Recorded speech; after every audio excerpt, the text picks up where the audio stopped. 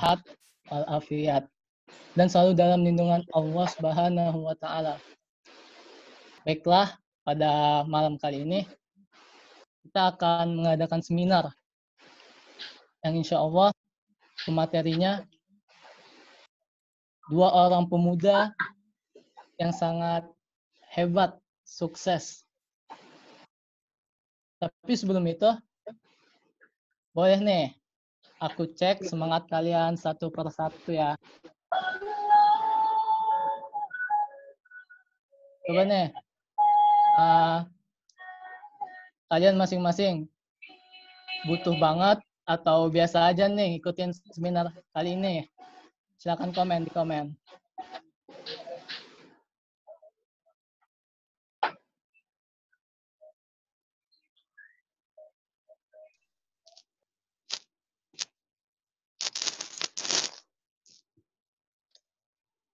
Ya, kalian merasa mengikuti seminar ini butuh banget B aja atau benar-benar penting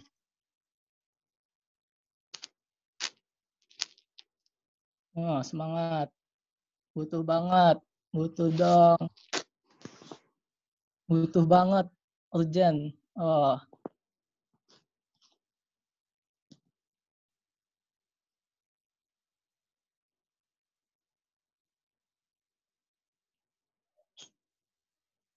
Wih, jadi semuanya pada butuh ya. Coba nih kita absen. Coba semuanya sebutin namanya dan dari sekolah mana. Atau misalkan ada yang kuliah dari universitas mana nih.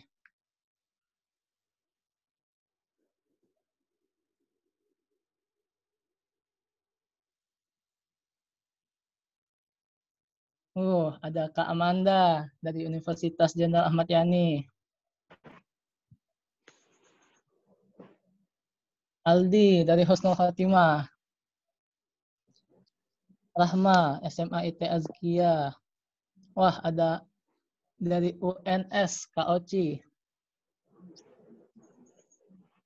Ada Anis, SMA IT Azkia. Wah, ada Aras dari Deki. Ada Angelik Angeliksa dari SMAN 1 Sempenan. Ada dari M, Wah, ada Kak Heni Hernawati dari Universitas Pendidikan Indonesia. Masya Allah, semangat. Ada Laya dari SMA IT Ashifa.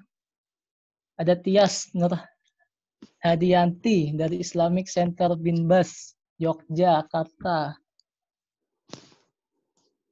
Ada Fatah. Ada Hasna dari SMA IT Ashifa Boarding School Wanareja.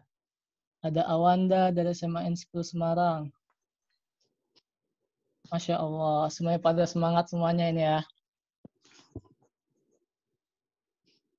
Mungkin saya akan menjelaskan beberapa biografi dari pemateri kita kali ini. Yang pertama akan ada Kak Fikri Al-Fatih. Yang mana beliau ini masih baru juga lulus dari santri dan sekarang sedang kuliah dan bisnisnya udah sampai internasional. Udah mempunyai cabang hingga ke Malaysia. Siapa nih yang mau ikut seperti Kak Fikri yang masih muda tapi udah punya usaha sampai ke Malaysia?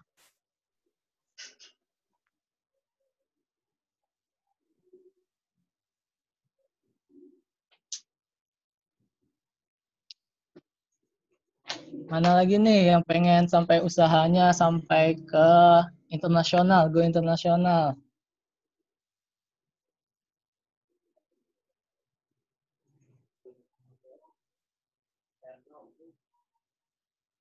Uh, ada yang mau sampai ke Jerman. Masya Allah, Iqbal. Alifah Maharani. Semangat.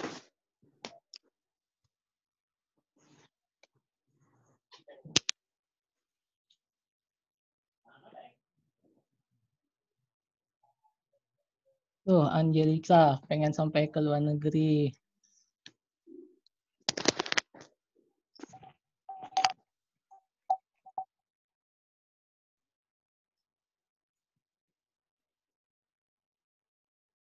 Dan kalau boleh kawin omset Kak Fikri per bulan bisa sampai mencapai 50 juta.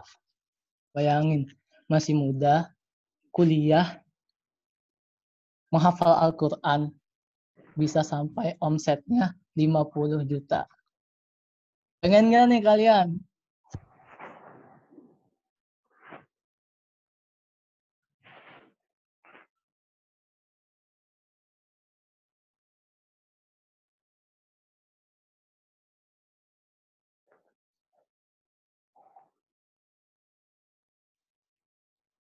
Oh, dahsyat. Dan pembicara kita yang kedua, yaitu Kak Yahya Ayasi. Sekarang masih mahasiswa di UNS, semester terakhir, jurusan manajemen. Yang mana Kak Ayas ini udah memiliki cabang dua di Thailand dan di Singapura. Dan Kak Ayas ini juga omsetnya hingga 50 sampai 100 juta rupiah. Dan Kak Ayas juga seorang penulis bukunya dan seorang penghafal Al-Quran.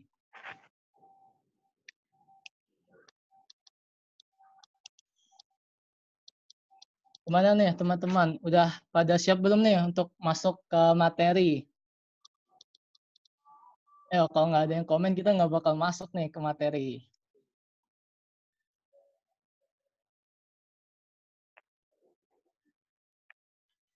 Sangat siap. Wih, semuanya udah pada siap ya.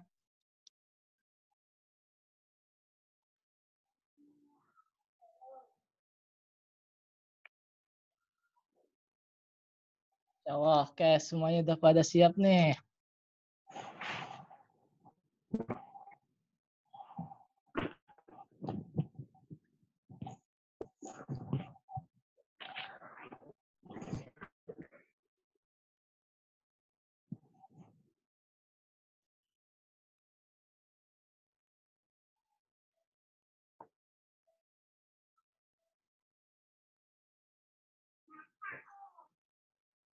Yes. Mari kita sambut pemateri pertama kita, yaitu Kak Fikri Al-Fatih. Ayo beri aplaus. Aplausnya, aplausnya, ayo. Oke. Kak Fikri. Siap. Hei, Ini layar siapa nih yang digambar? Ini punya Coba di itu dulu.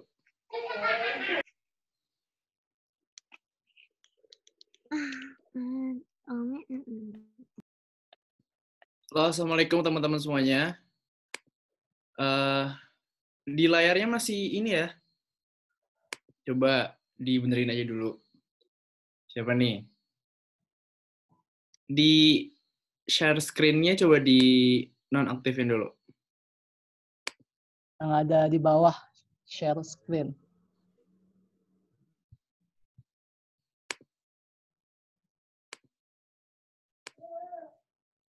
Nah, oke, siap. Udah ya? Ayo Kak, udah siap pada siap Oke, nih, udah pada semangat semuanya. Diulangi ya teman-teman ya.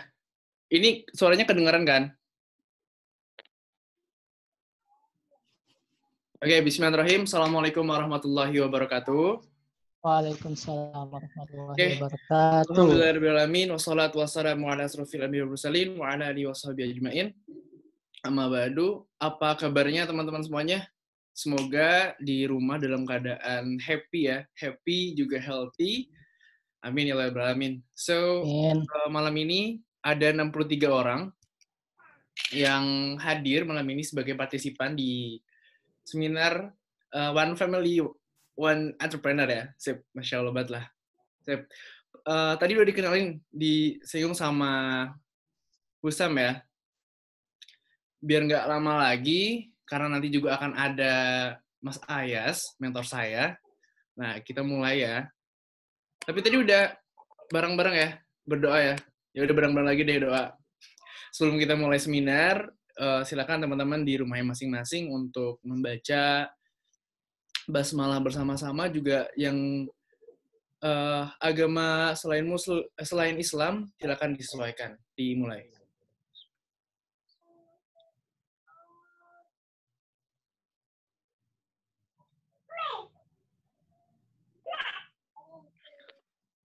Oke, okay, berdoa tidak pernah selesai. Alhamdulillah teman-teman. Oke, okay, saya mau share sesuatu nih.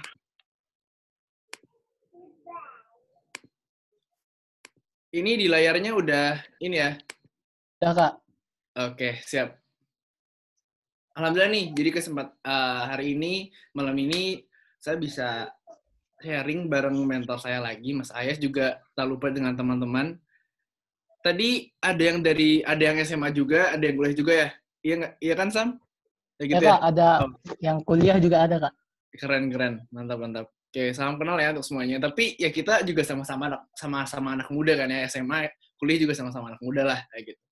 Oke, kita mulai ya. Oke, sebelum mulai saya pengen minta teman-teman untuk melihat dulu salin dia atau slide yang ada di pertama ini Nah, teman-teman, ada suatu filosofi uh, menjelaskan bahwa ketika kita ingin bertemu dengan orang baru, teman-teman harus menjadi gelas yang kosong atau menjadi empty glass atau empty cup. Gitu. Nah, jadi ketika teman-teman bertemu orang baru, siap untuk menerima ilmunya, siap untuk menerima, menerima insight-nya, so teman-teman nanti si gelas diisi oleh ilmu yang nanti akan di-share. Gitu. Oke, okay, jadi di sini pertanyaannya siap mengesahkan gelas, teman-teman? Kalau yang siap, boleh tuh di komen dulu dong di bawah.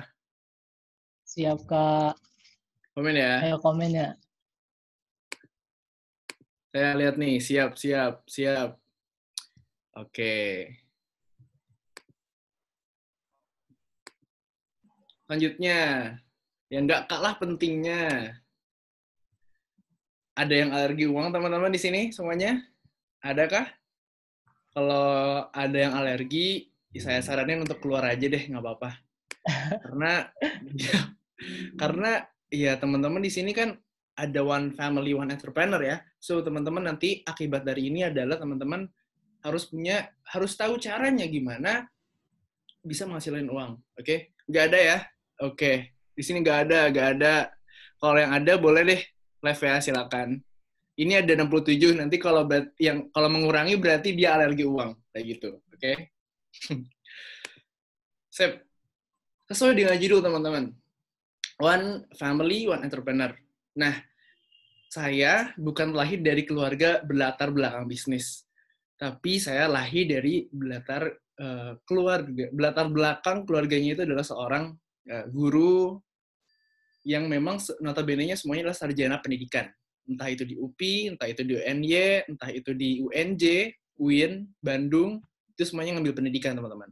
So, teman-teman jangan minder yang bukan berasal dari keluarga berbisnis. It's okay, saya aja yang memang bukan, insya Allah bisa kok, gitu.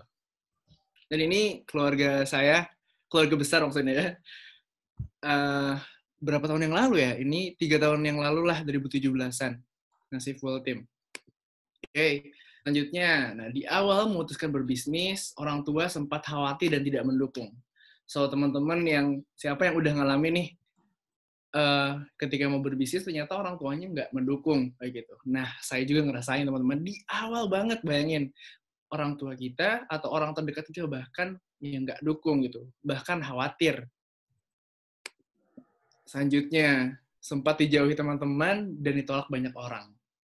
So, teman-teman yang hari ini yang memutuskan untuk berbisnis dan dijauhi banyak teman dan juga ditolak banyak orang, berarti teman-teman tandanya akan jadi sukses. Kayak gitu. Itu kata mentor saya ya.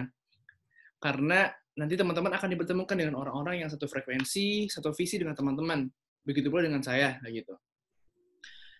Saya ketemu dengan Mas Ayas, ketemu dengan Husa, ketemu dengan Hasan dan yang lainnya adalah uh, kalau menurut saya adalah jawaban dari uh, jawaban yang selama ini saya panjatkan doanya kepada Allah. Kenapa? Saya soalnya ngedoa bahwa saya pengen ketemu orang-orang yang memang bisa apa istilahnya menjadi pengingat, bisa menjadi uh, penguat, bisa menjadi bisa, orang yang lebih dewasa, orang yang lebih uh, ahli hebat gitu kan, gitu. Saya belajar banyak kok, walaupun dari anak-anak SMA, saya nggak nggak nggak meng apa istilahnya memojokkan lah, kayak gitu. Tapi saya juga belajar banyak. Ya, siapa yang cara-cara itu? Oke, okay. eh. itu oke, okay, oke. Okay. Nanti itu bisa dihapus kok, teman-teman. Yang itu, berat. Oke, lanjut ya. Nah, jadi ini adalah sebuah garis kehidupan, teman. Saya mau jelasin ini. Kenapa? Karena uh, setiap garis kehidupan manusia itu pasti kan berbeda-beda, tapi umumnya ada hal yang memang sama ini polanya. Dan ini harus teman-teman ketahui nih. Kalau teman-teman mau nge-screenshot atau mau nge-tulis sambil nulis, silakan ya. Oke. Ini garis kehidupan kita, teman-teman. Kalau yang muslim, uh, umat Nabi Muhammad SAW kan uh, gak bakal jauh dari umur Nabi ya. Insya Allah 63 tahunan lah.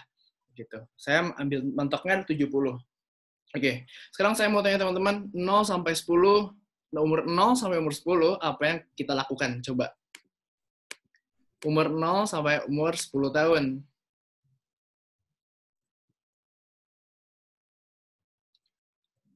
Kira-kira ngapain tuh? Teman-teman bayi sampai umur 10 tahun. Teman-teman ngapain? Main, main, main. Belajar hal dasar, masih happy-happy aja. Oke. Betul. Jawabannya adalah main, teman-teman. Sekarang saya mau tanya, 10 sampai 20 tahun, teman-teman ngelakuin apa nih? Dari umur 10, masih main, jualan katanya. Terus apa lagi nih? Mondok, belajar lah, keren. Mikir masa depan, weh, ini lebih parah sih. Masih sekolah, ngojek, Masya Allah. Kayak jawabannya adalah, teman-teman kita di umur 10 sampai 20 tahun adalah uh, masih belajar ya, entah itu SD, SMP, SMA, bahkan kuliah pun masih yang 18-19 tahun itu udah masuk kuliah ya, masih belajar. Nah, selanjutnya di sini ada garis merah teman-teman yang harus teman-teman ketahui gitu kan. Nah, garis merah ini kalau teman-teman IPS, teman-teman tahu kan ya, uh, usia produktif manusia itu dimulai dari umur 20. Dan itu terjadi karena memang isinya kita udah lulus dari kuliahan kalau yang kuliah gitu. Dan bahkan karena memang zaman sekarang kan uh, terkenalnya bukan terkenal sih lebih tepatnya adalah umumnya orang-orang itu uh, mencari kerja atau mencari gimana caranya dapetin uang itu umur 20 tahun umumnya gitu kan. Nah ini adalah masa-masa kita bekerja teman-teman. Teman-teman ketika habis kuliah biasanya kan nyari, nyari kerja ya gitu atau lebih bisa juga disebut dengan kita ada di sistem orang, di sistem sebuah perusahaan atau kita yang membuat sistemnya, kayak gitu. Nah, kok di sini ada 50 tahun ya sampai batasnya gitu kan? Maksudnya kenapa kayak gitu? Teman-teman, kita nggak bakal bisa selamanya untuk bekerja, artinya kita ada masa uh, expired-nya lah kayak gitu. Atau yang lebih kenalnya adalah pensiun. Teman-teman nggak mau kan untuk kerja selama seumur hidup kan. Oke nggak mau kan? Makanya kita pengen jadi tua yang seperti apa gitu. Mau yang kayak gimana tuanya? Yang mau menikmati kah? Atau mau masih kerja kah? Ya teman-teman kalau misalnya memang masih kuat ya silakan kayak gitu. Tapi kan notabene-nya kalau misalnya tua itu kita harus menikmati yang suami yang laki-laki kan berarti sama istrinya. Misalnya di depan rumah ngopi gitu kan ya nggak sih? Gitu kan. Tuh menikmati dong bareng cucu masya Allah. Oke. Okay. lalu kita akan meninggal teman-teman. Gitu. Nah tinggal pilih lagi mau meninggal yang kayak gimana. Mau yang baik atau mau yang suul Nauzubillah ya. Semoga kita semuanya ke Fatimah oke. Okay. nah yang jadi catatannya adalah teman-teman ini nih. Jadi ada sebuah garis. Nih ini kita lihat dari awal garis yang warna merah, teman-teman. Awal garis yang warna merah. Bentar ya. Oke. Nah, ini adalah tahun pertama kita kerja, teman-teman. Abis kuliah, biasanya kan fresh graduate itu nyari kerja. Dan itu biasanya kita juga dapat, satu bulan pertama itu dapat gaji ya. Nah, itu bergantung dengan uh, posisi apa yang sedang teman-teman uh, tempati. Misalnya jadi manajer, itu berapa juta. Itu misalnya jadi langsung jadi CEO, kalau teman-teman udah punya perusahaan, orang tuanya bisa bisa jadi kan jadi CEO. Atau jadi direkturnya. Atau yang mungkin karyawan biasa juga masih tetap dapat gaji kan. Kayak gitu. Nah, tahun pertama bekerja biasanya misalnya kelipatan lima nih. Tahun kelima bekerja kira-kira kalau udah lama kita bakal tambah gak sih gajinya sama sama perusahaannya? Kira-kira ditambah nggak?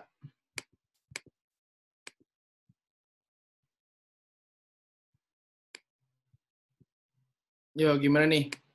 tahun pertama kerja, terus lima tahun kemudian kita kerja lagi, terus-terus kerja sama lima tahun, 10 tahun, 15 tahun, kira-kira nambah nggak gajinya tuh? Nambah. Kalau kerjanya bagus, ya dikasih gaji lebih. Nah, bener banget. Itu kalau misalnya kita kerjanya bagus. Kita ngasih excellent service untuk bos kita, untuk customer kita. Kayak gitu. Nih, itu naik ya kalau tadi tadi kata Angelica ya kalau nggak salah naik kalau misalnya kita kerjanya bagus teman-teman naik pangkat dan gaji tunjangan bertambah itu yang kita akan dapatkan ketika udah 1, 5, 10, 15 tahun, 20 tahun, 25 tahun terus bekerja dan kita kerjanya bagus gitu. Kita bakal dapat uang. Tapi ini masih ingat ya teman-teman ya. Nih. Di umur yang 50 tahun ini, teman-teman, kita akan berhenti, teman-teman. Kita bakal pensiun, dan penghasilan kita yang sama sebulan itu gak bakal dapat lagi. Kenapa? Karena kita akan diganti dengan pekerja baru.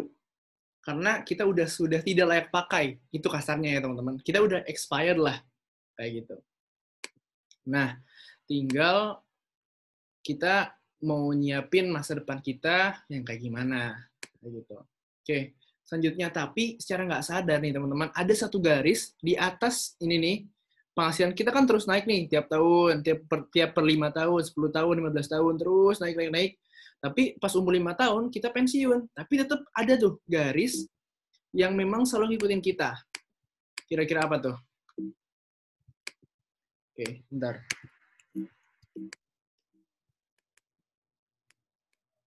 Kira-kira garis apa nih teman-teman?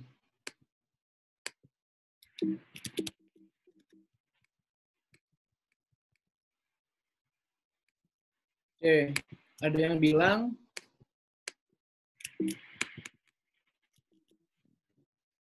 Oke. Ternyata ketika penghasilan kita naik terus terus terus terus terus dan ketiba umurnya kita di umur 5 tahun, 50 tahun maksudnya, itu kita akan berhenti, tapi itu satu garis yang terus naik. Apa coba? Oke, sebentar ya teman-teman. Ada kesalahan teknis.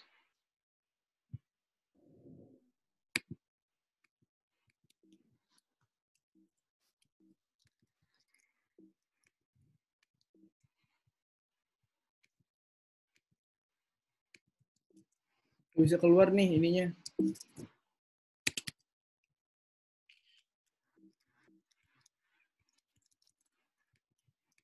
Sam. Ya, Ini layarnya masih ini ya? Masih live. Oke, okay,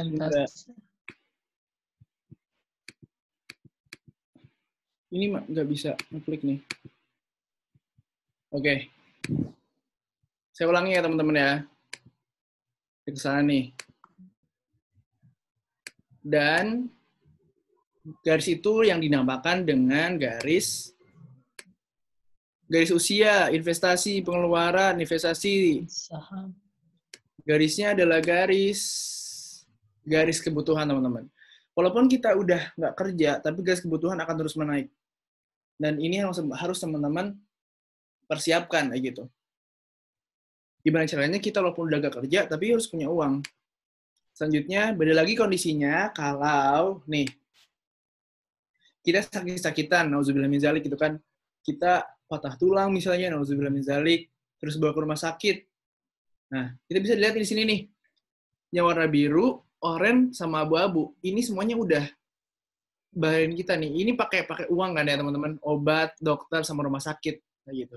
Yang sisanya, gitu. Jadi kita selama bekerja ini, selama kita naik kerjanya nih, itu uangnya udahlah habis sama obat, dokter, sama rumah sakit.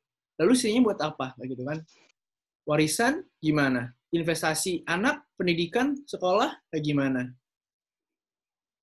Nah, makanya jangan mengikuti pola yang sama, kayak gitu. Maksudnya kayak gimana, Kak? Oke, sekarang saya mau tanya, teman-teman. Kira-kira apa yang membedakan orang kaya dengan orang yang belum kaya? Boleh nih, komen dulu, teman-teman. Kira-kira apa nih yang membedakannya?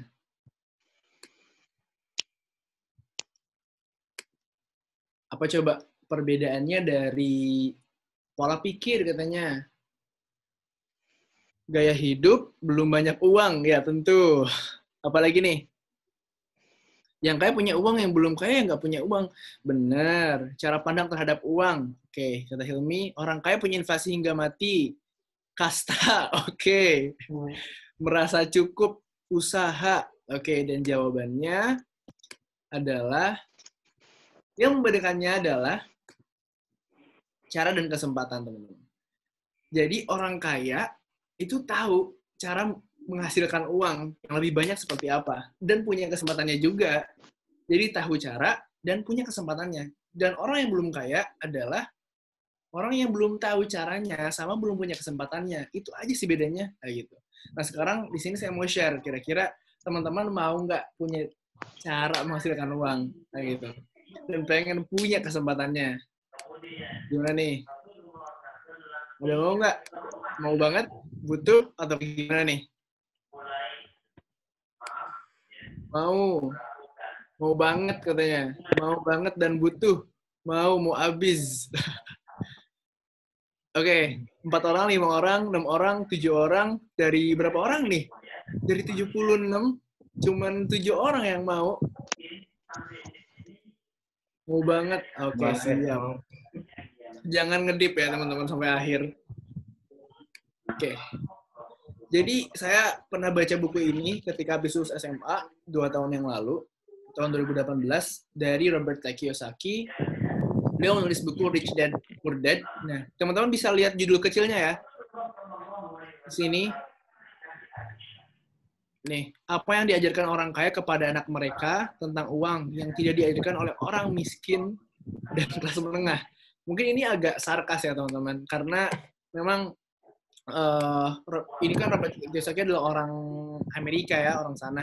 So, Rich Dad dan Poor Dad di sana itu memang udah nggak tergolong kasar gitu. Kalau di Indonesia memang uh, ayah kaya dan ayah miskin kan gitu. Oke, okay. jadi Robert Kiyosaki ini dia men, apa ya istilahnya buat buat ini juga apa namanya buat sebuah teori nih cara menghasilkan uang teman-teman jadi ada empat dan ini kita bagi ya yang warna oranye sama warna biru. Kalau oranye berarti kuadran kanan kalau misalnya yang biru itu kuadran kiri. Nah teman-teman ada ESBI nah E di sini adalah sebagai employee teman-teman. Employee adalah seorang karyawan bahasa Indonesia-nya. Nah di sini disebutkan bahwa you have a job, the leverage, dan di sini gambarnya itu adalah time equal dollars atau waktu sama dengan uang. Artinya kita menukarkan waktu dan tenaga kita untuk uang kayak gitu. Paham ya? Karyawan tuh kayak semacam ya karyawan, maksudnya kayak pekerja yang masuk ke dalam sebuah sistem, sebuah perusahaan adalah pekerja, teman-teman. Lalu selanjutnya ada self employee you create you create a job no leverage time equal money ini sama kayak gitu kan ini lebih ke profesional contohnya uh, dokter jadi dia harus mengambil pendidikan gitu kan tis lalu orang-orang yang memang, memang profesional gitu dan kuadran yang sebelah kiri ini nih yang warna biru teman-teman ketika dia ketika dia tidak bekerja artinya dia nggak mendapatkan uang. Artinya itu namanya active income, teman-teman. Artinya kalau misalnya dia bekerja, dapat uang. Kalau nggak bekerja, nggak dapat uang. Kayak gitu. Oke, selanjutnya. Ini yang diajarkan oleh rich dad-nya seorang Robert. Kiyosaki. Rich dad-nya itu ayah kayanya mengajarkan bahwa dia harus menjadi seorang business owner. Di sini tulisannya people works for you, leverage people equal money, gitu kan. Nah, artinya ada orang yang bekerja untuk kita. Kayak gitu. Jadi kita membuat sebuah sistem dulu, kalau bisnis itu. Kan seorang pemilik bisnis itu 1 sampai 2 tahun, 3 sampai 4 tahun itu membuat sistem ya. SOP-nya, pekerjanya, terus uh, regulasinya, peraturannya dan semuanya itu semuanya termasuk dengan sistem. SDM-nya, orang-orangnya, pekerjanya, karyawannya itu adalah sistemnya. Maka ketika sistem sudah berjalan, nanti uangnya akan bekerja untuk si business owner. Nah gitu. Enak ya, teman-teman kalau misalnya kita nggak perlu capek-capek gitu kan. Tapi biasanya untuk business owner ini, 1 sampai 2 tahun pertama itu harus kerja dulu. Kayak gitu. Oke, sebentar.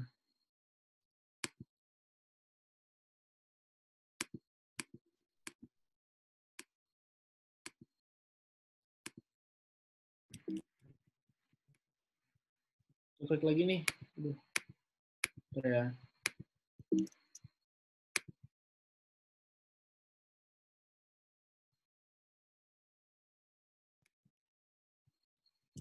Oke. Selanjutnya ada I, teman-teman. Di sini I adalah investor. Di sini tulisannya adalah money works for you. Artinya adalah tahapan yang memang paling enak gitu investor. Tapi biasanya investor inilah mereka yang udah jadi business owner dulu, orang yang udah punya banyak uang dan dia dapat passive income. Passive income itu adalah jadi kita mau lagi tidur, mau lagi jalan-jalan, mau lagi makan, itu komisi masuk ke rekening kita gitu. Jadi kita nggak perlu capek-capek untuk ngurusin sistemnya kayak gimana, nggak perlu capek-capek ngurusin pekerjaannya kayak gimana, nggak perlu ke kantor, tinggal duduk aja di rumah, tinggal rebahan gitu kan. Enaknya kayak gitu kalau udah jadi investor. Cuman ya yang tadi teman-teman biasanya investor adalah business owner asalnya kayak gitu. Nah, artinya si business owner sama investor itu yang kuadran kanan. Nah, yang kuadran kanan ini mereka mau bekerja atau mau ke kantor ataupun enggak, mau bekerja ataupun enggak, mereka akan dapat dapat uang. Kecuali yang warna biru, teman-teman, employee sama self employee. Mereka harus kerja untuk dapetin uang. Mereka harus menggunakan uh, tenaga dan waktunya untuk uang. Nah, sekarang saya mau tanya teman-teman, di sini teman-teman mau pilih yang mana gitu. Biar nanti kita aminkan bareng-bareng.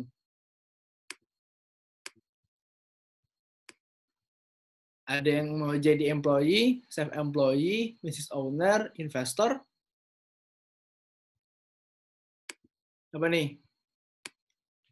Investor. Wow, investor ya Allah, katanya business owner untuk sekarang mau employees dulu. Nah, ini kata bintang Fajrul untuk sekarang mau employees dulu. It's okay teman-teman, bener-bener oke okay banget. Kenapa? Karena kita nggak perlu yang namanya uh, langsung jadi business owner, tapi kita harus belajar dulu kan gimana cara membuatkan sistem, gimana caranya kita mengelola SDM yang baik. Nah, itu biasanya kita cari pengalaman dulu. Nah, gitu pengennya sih sekarang rebahan dapat uang. Oke, okay. tapi sekarang tapi nggak ada yang instan ya teman-teman. Semuanya juga ada perjuangannya. Gitu. Oke, okay, selanjutnya nih. Which generation are you? Oke, okay, sekarang saya mau tahu silakan kirim umur teman-teman berapa aja nih? Ada yang belasan tahun atau puluhan tahun? 17, 17, 19, 17, 15, 2003 itu berapa? 15 tahun, 16 mau 17, 19 tahun 3 bulan, ada yang di atas 20 nggak nih? Atau ada yang 20 tahun?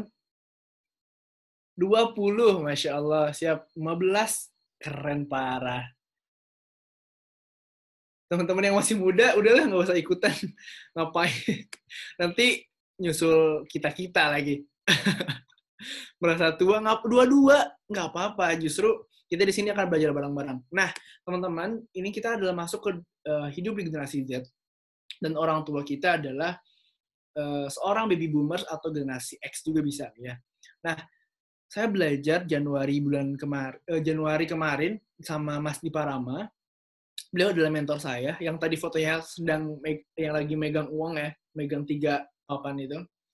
Dia mengatakan bahwa setiap generasi itu beda caranya untuk menghasilkan uang. Kalau baby boomers atau generasi X, ini saya tandain ya, baby boomer sama generasi X ini cara cari uangnya dengan employee atau self-employee. Kenapa? Karena pada saat itu, ya mereka bisa beli rumah, bisa jamin anak untuk sekolah.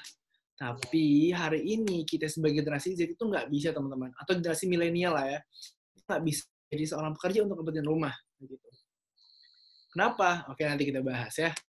Nah, generasi Z sama generasi Z ini itu harus jadi seorang business owner dulu. Nah, business owner yang tadi saya jelasin ya. Oke.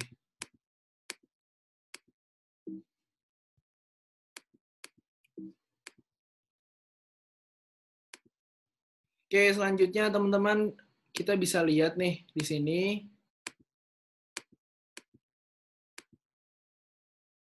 Oke. Dia systematic dilemma. Ini harus teman-teman ketahui nih. Bahwa kita hari ini kan nggak bisa menyampaikan ya cara cari uang kita dengan orang tua kita. begitu. The systematic dilemma. 21st century kids are being taught by 20th century adults using 19th century curriculum and techniques on an 8th century calendar. Artinya, anak-anak di abad ke-21 hari ini itu diajarkan oleh orang yang hidup di zaman abad ke-20 dan menggunakan kurikulum orang abad ke-19 dan menggunakan teknik atau kalender orang abad ke-18. Artinya, uh, ada sebuah dilema perasaan kita nih kok gini-gini aja ya nggak sih gitu kan? Dari dulu HP ada yang dari tebel tipis bahkan sampai sekarang ada yang katanya lagi hologram ya kayak gitu. Tapi sistem pendidikan kita kayak gimana nih? Semuanya dari dulu jadi zaman nenek moyang kita itu duduk semuanya di kelas ya nggak sih? Maksudnya duduk dalam bangku dan matiin guru kayak gitu. Nah itu berarti ada yang salah teman-teman. Apalagi kita menggunakan kurikulum juga teknik dan kalender yang memang bukan pada zamannya kita gitu. Artinya kita harus menyesuaikan zaman. Nih. Tadi kan bilang ya bahwa kita nggak bisa anak milenial atau generasi itu nggak bisa buat beli rumah. Dan ini faktanya teman-teman.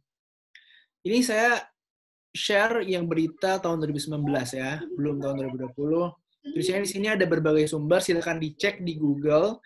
Tulis aja milenial nggak bisa beli rumah, nanti keluar sebanyak artikel. Ini ada Tirto, ekonomi bisnis, Liputan 6, ekonomi oke zone, dan sebagainya. Begitu. Bahkan, teman-teman yang suka nonton YouTube, tahu kan ini siapa ya? Skin Indonesian 24. Siapa coba? Oke. Ini dia mengatakan bahwa bahkan udah bikin konten juga nih 29 Januari 2019 tahun lalu gitu ini tahun, tahun lalu loh, belum tahun 2020. Dan dia mengatakan bahwa di umur 25 tahun orang Indonesia tidak bisa beli rumah. Gitu. Nah, kenapanya? Ya tadi, kita nggak bisa mengandalkan satu sumber atau satu saluran untuk berpenghasilan, teman-teman.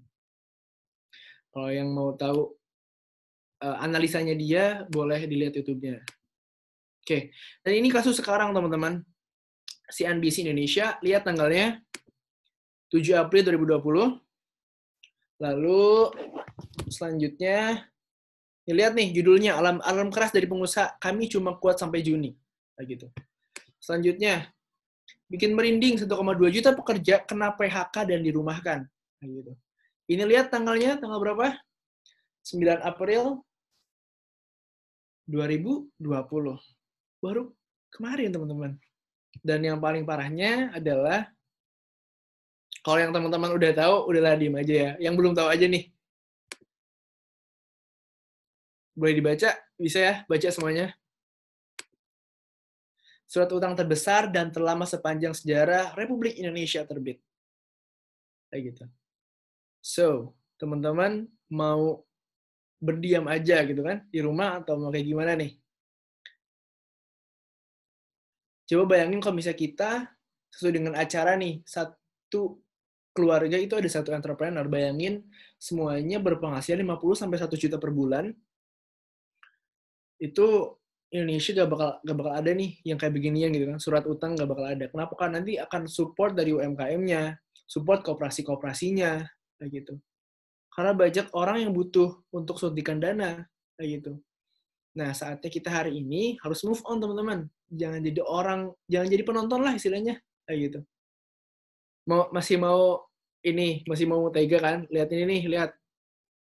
Banyak orang di PHK, pemutusan hubungan kerja. Jadi dia tuh udah apa ya, dipecat lah kasarnya kayak gitu. Bahkan saya dapat berita bahwa Ramayana sebuah retail Ramayana di Depok itu udah tutup selamanya dan PHK sepihak artinya nggak ada apa ya istilahnya nggak ada diskusi dulu sama si pekerjanya. Jadi langsung PHK kayak gitu. Ratusan orang sih tapi tetap aja gitu kan itu orang kan di PHK kayak gitu. Bahkan ini videonya viral banget di Twitter di YouTube silakan dicari. Oke selanjutnya saya malam kemarin baru ngobrol sama mentor saya. Saya beruntung banget kenapa? Karena dipertemukan dengan orang-orang yang sangat luar biasa yang apa istilahnya ya mereka mau berjuang buat keluarganya buat negaranya gitu kan. Dan di sini fungsinya satu pengusaha satu satu keluarga satu entrepreneur itu kayak gini teman-teman. Ini lihat dia bilang amin amin pokoknya tetap gerak. Ah nggak apa-apa itu mah itu mah ama jerih payah orang tua kita dari lahir gitu kan. Itu aku share biar Fikri makin semangat ya gitu. Ini mentor saya kemarin banget teman-teman jam 10 hampir jam setengah setengah 11 Kayak gitu. Selanjutnya nih. Asli siap bismillah, Masya Allah banget. Lagi COVID begini, lagi pandemi COVID-19 begini, dapat 70 juta. Allahu Akbar gitu. Kayak gitu. Ini baru satu orang, teman-teman. Dan mentor saya ini, salah satunya, ini baru mentor yang perempuan ya, namanya Mbak Ima. Gitu. Cewek loh. Ini yang cowok ke mana? Gitu. Gimana nih? Jangan malu ya. Kayak lagi COVID begini dapat 70 juta, Allah Akbar. Ibuku kerja belasan tahun, nggak dapat fix gaji sebulan 70 juta. Gitu. Gaji direktur CEO itu 150 jutaan, 100 jutaan. Dan ini udah nyentuh gaji CEO, teman-teman. Nah gitu. Biarin naiknya yang gaji. Ibu kerja buat hobi aja, doain ibuku biar sehat selalu ya. Dan ini teman-teman, lihat. Namanya Mbak Ima. Nah, gitu. Dan bisa dibaca ya, teman-teman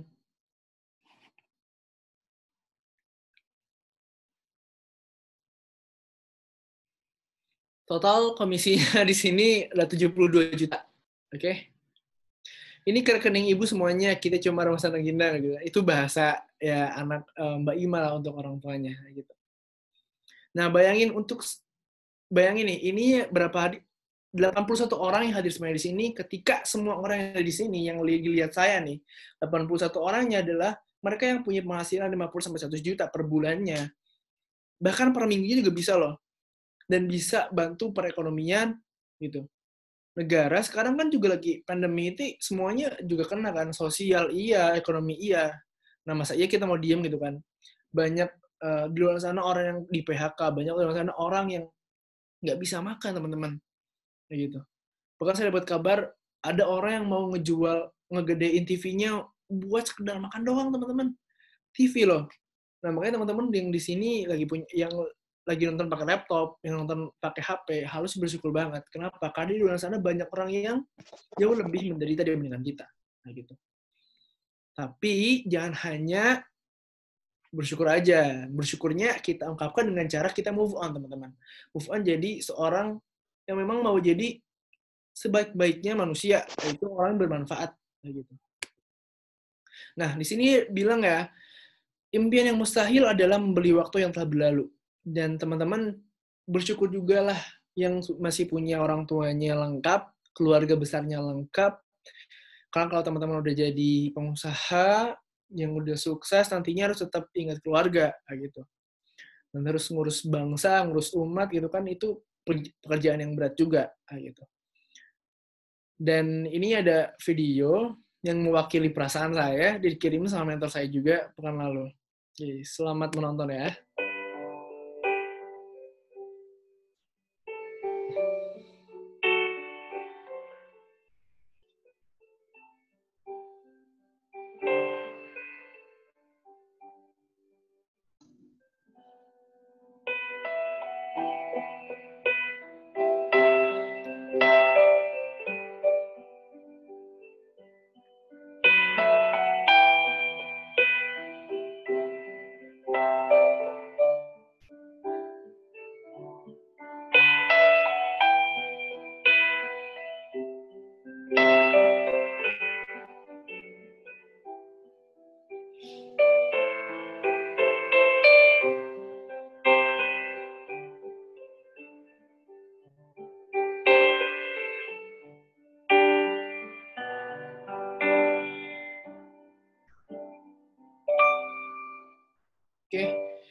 Teman-teman yang tadi teman-teman uh, siapa pun yang udah Allah panggil, yang sudah Tuhan panggil, itu kita nggak bisa membeli waktu dari Allah dari Tuhan untuk mengembalikan semua semuanya waktunya gitu. Makanya kita ketika hari ini kita ingin move on dan gak ada alasan lagi untuk kita diam teman-teman. Ada orang tua kita yang harus kita bahagiakan, ada keluarga kita yang harus kita bahagiakan. Jujur selama dua tahun ini saya udah kehilangan beberapa anggota keluarga saya dan saya nggak bisa bantu apa-apa kecuali doa. Karena saya lagi di Bandung, lagi sekolah SMA, pesantren, sampai sekarang kuliah gitu. Bahkan ta uh, tahun lalu itu eh tahun awal bulan awal tahun sekarang saya udah kehilangan dua itu kakak dari ibu saya sama adik dari adik dari ibu saya teman-teman silakan untuk memanfaatkan uh, keberadaan keluarga yang masih ada gitu. Karena kita bekerja hari ini, kita bisnis hari ini bukan untuk siapa-siapa, tapi untuk keluarga kita gitu. Kecilnya untuk keluarga kita gitu. Tapi yang besarnya kan untuk umat, untuk masyarakat Indonesia supaya Indonesia jadi negara maju gitu. Makanya teman-teman di sini yang 84 84 orang hari ini malam ini yang hadir, saya doain teman-teman semuanya bisa jadi orang yang memang bermanfaat sekali gitu teman-teman beruntung banget yang malam ini bisa belajar bareng semuanya, bareng saya, bareng Mas Ayas, bareng Husam, kayak gitu. Kenapa? Karena di luar sana banyak orang yang belum bisa akses Zoom meeting karena nggak punya laptopnya, karena nggak punya HP-nya, karena nggak punya koneksi internetnya, buat makan aja susah gitu. Makanya teman-teman, tugas kita hari ini bukan hanya diam. Tugas kita hari ini, walaupun stay at home, tapi teman-teman mau belajar hari ini pun udah syukur banget. Kayak gitu. Ini sebelum pandemi COVID-19, saya suka banget untuk ketemu sama orang-orang baru, termasuk alhamdulillah saya udah ketemu sama teman-teman semuanya di sini. Alhamdulillah sangat untung sekali. Ini mengobati hati saya banget. Kenapa? Karena saya udah sekitar uh, a month, satu bulan ini di rumah setelah dipulangkan dari pesantren saya dari DT. Saya ngerasa sepi banget teman-teman, kayak gitu. Karena di sini nggak ada siapa-siapa, kayak gitu. Ini teman-teman saya, keluarga saya, sahabat saya yang saya ajak berjuang kayak gitu. Dan saya kangen banget sama mereka. Untuk kumpul bareng aja susah gitu kan hari ini. Ya semoga pandemi ini cepat selesai ya. Gitu. Dan ini support system saya. Ada mentor saya, ada tim saya, ada orang tua saya. Mereka yang membuat saya bisa seperti ini gitu kan. Berkat doa-doa mereka juga dan juga izin dari Allah Subhanahu wa taala. okay, work as family dan terakhir boleh yang teman-teman yang ingin nanti bertanya setelah ini bergabung atau adding atau mau silaturahmi silakan ada Facebook, Instagram, sama YouTube saya. Dan dari saya cukup sekian. Nanti uh, setelah ini teman-teman jangan ke mana-mana, jangan berkedip karena selanjutnya akan di akan di apa ya akan ada suatu materi yang memang luar biasa juga dari mentor saya. Masih muda teman-teman nggak kalah muda sama saya walaupun lebih muda saya. Tapi tadi kan juga disebut ya bahwa Mas S ini adalah seorang hmm, mahasiswa tingkat akhir di manajemen UNS seorang penerima beasiswa aktivis Nusantara dompet wafa lalu apa lagi nih? Menghafal Quran anak-anak santri juga gitu kan Nah, tentu saja saya udah nggak sabar juga buat belajar lagi sama beliau dan saya juga siap untuk memasukkan gelasnya karena ya sayang banget lah kalau misalnya udah nggak apa namanya istilahnya udah ada orang di sini dan kita nggak mau belajar sama sama dia sama beliau kayak gitu. Oke, langsung aja nggak lama lagi. Mas Ayas, udah ready Mas? Halo, assalamualaikum Mas Ayas. Cek cek. Uh, oke. Okay. oke okay, monggo mas. Oi Kang Fikri luar biasa. Boleh dong teman-teman tepuk tangannya buat Kang Fikri yang udah sharing malam hari ini. Oke teman-teman, tepuk tangan masing-masing ya di rumah, tepuk tangan from home. Oke uh, teman-teman, suara saya jelas nggak teman-teman? Kalau jelas silahkan komen di bawah ya kalau jelas. Hmm. Alhamdulillah. Jelas kak. Oke, jelas. Nih, sekarang kan jam 20.51 nih. Udah pada ngantuk belum? Apa kita lanjut aja nih? Apa udahan? Lanjut, serius nih, masih kuat. Oke, teman-teman yang luar biasa. Sebelumnya, eh, Assalamualaikum warahmatullahi wabarakatuh. Eh, terima kasih banget buat panitia acara hari ini dari teman-teman SMA ya. Tapi buat acara keren banget. Udah udah udah ngontak kita jauh-jauh hari.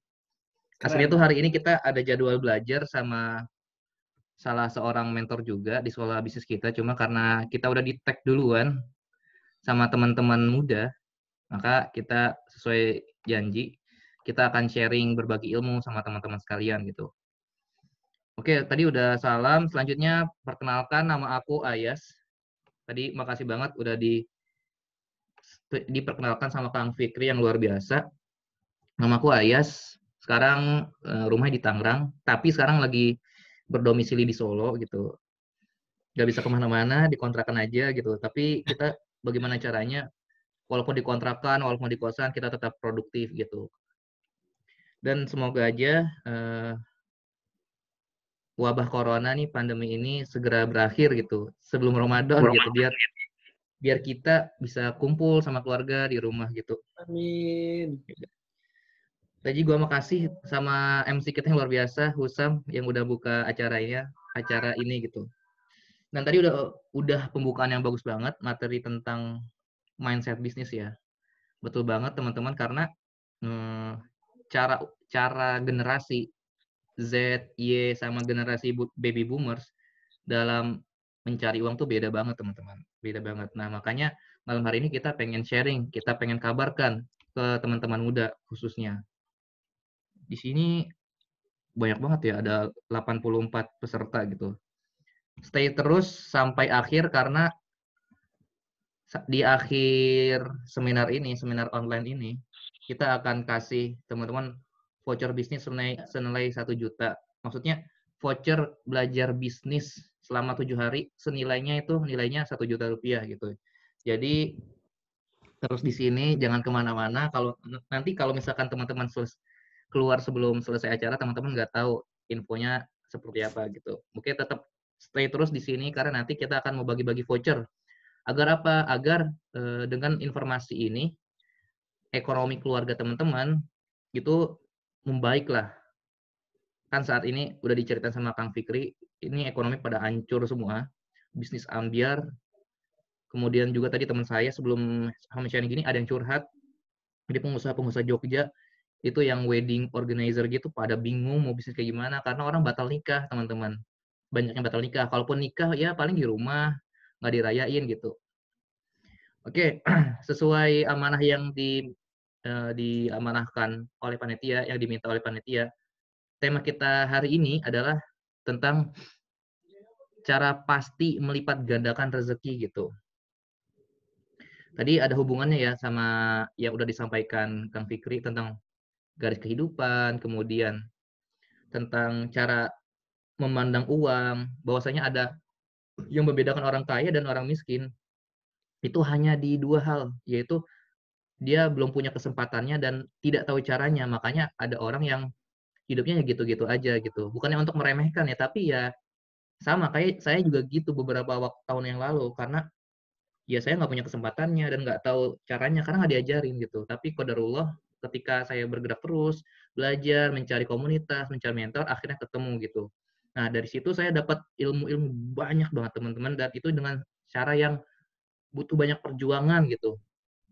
Nah, akhirnya ilmu-ilmu yang saya dapatkan itu sama juga Kang Fikri juga dapat dari mentor-mentor itu kita pengen kasih secara secara gratis ke teman-teman agar apa?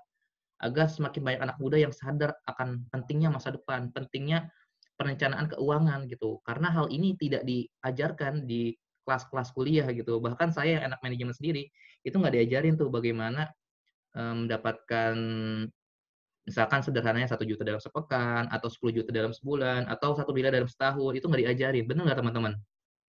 Kita nggak pernah diajarin rumus menjadi kaya gitu. Yang diajarin adalah Benar. bagaimana menjadi karyawan yang baik atau bagaimana melewati interview. Nah, seperti itu yang kita dapatkan di kampus. Cuma itu bukan suatu persoalan gitu. Yang salah adalah ketika kita tidak mau belajar hal yang baru lagi untuk untuk kehidupan yang lebih baik. Nah, ilmu ini yang cara pasti melipat gandakan rezeki telah diaplikasikan dan menghasilkan satu miliar pertama di usia 26 tahun oleh anak muda bernama Kevin Pratama. Nah, saya lagi duplikasi nih ilmu ini agar saya bisa sharingkan juga ke teman-teman. Jadi insya Allah ilmunya bakal bermanfaat banget dan tetap terus ikutin Zoom meeting ini atau seminar online ini sampai akhir acara gitu. Oke, nah di awal sharing ini saya pengen uh, memulai dengan suatu ayat Al-Quran. Surat Ibrahim ayat, ayat 7 yang berbunyi La in syakartum la azidannakum wa la in kafartum in adabi syadid. Nah, uh, terus maksudnya apa, Mas? Jadi di ayat itu uh, Allah bilang tentang bersyukur. Ketika kamu bersyukur, pasti nikmatmu akan ditambah. Gitu. Bukan insya Allah akan ditambah, tapi pasti akan ditambah gitu. Karena ini adalah janji Allah dan petunjuk paling utama dalam hidup manusia apa? Ya tadi kitab suci gitu. Nah, uh, berhubung uh, berbicara tentang syukur, mungkin uh, kita udah sering ya dengar kata syukur, cuma untuk mengaplikasikan mengaplikasikannya itu tidak semudah dengan apa yang diucapkan gitu. Butuh kesadaran penuh dan ketulusan gitu dan kesungguhan gitu. Karena berbicara tentang syukur. Nah, saya pengen cerita mengambil suatu kisah dari uh, diceritakan juga dalam sirah dan juga Al-Qur'an tentang Nabi Musa. tentang syukur juga pastinya. Jadi suatu ketika ada orang miskin yang datang ke Nabi Musa. Uh, dia bilang ke Nabi Musa, "Ya Nabi Allah, uh, tolong doakan aku agar menjadi kaya raya sehingga aku bisa beli baju yang banyak, bisa makan. Kemudian uh, Nabi Musa bilang ke orang itu, orang tersebut, bersyukurlah kepada Allah, maka nikmatmu akan ditambah gitu. Bagaimana aku bersyukur? Orang makan lagi susah, orang kerja aja susah, malah ngedumel gitu.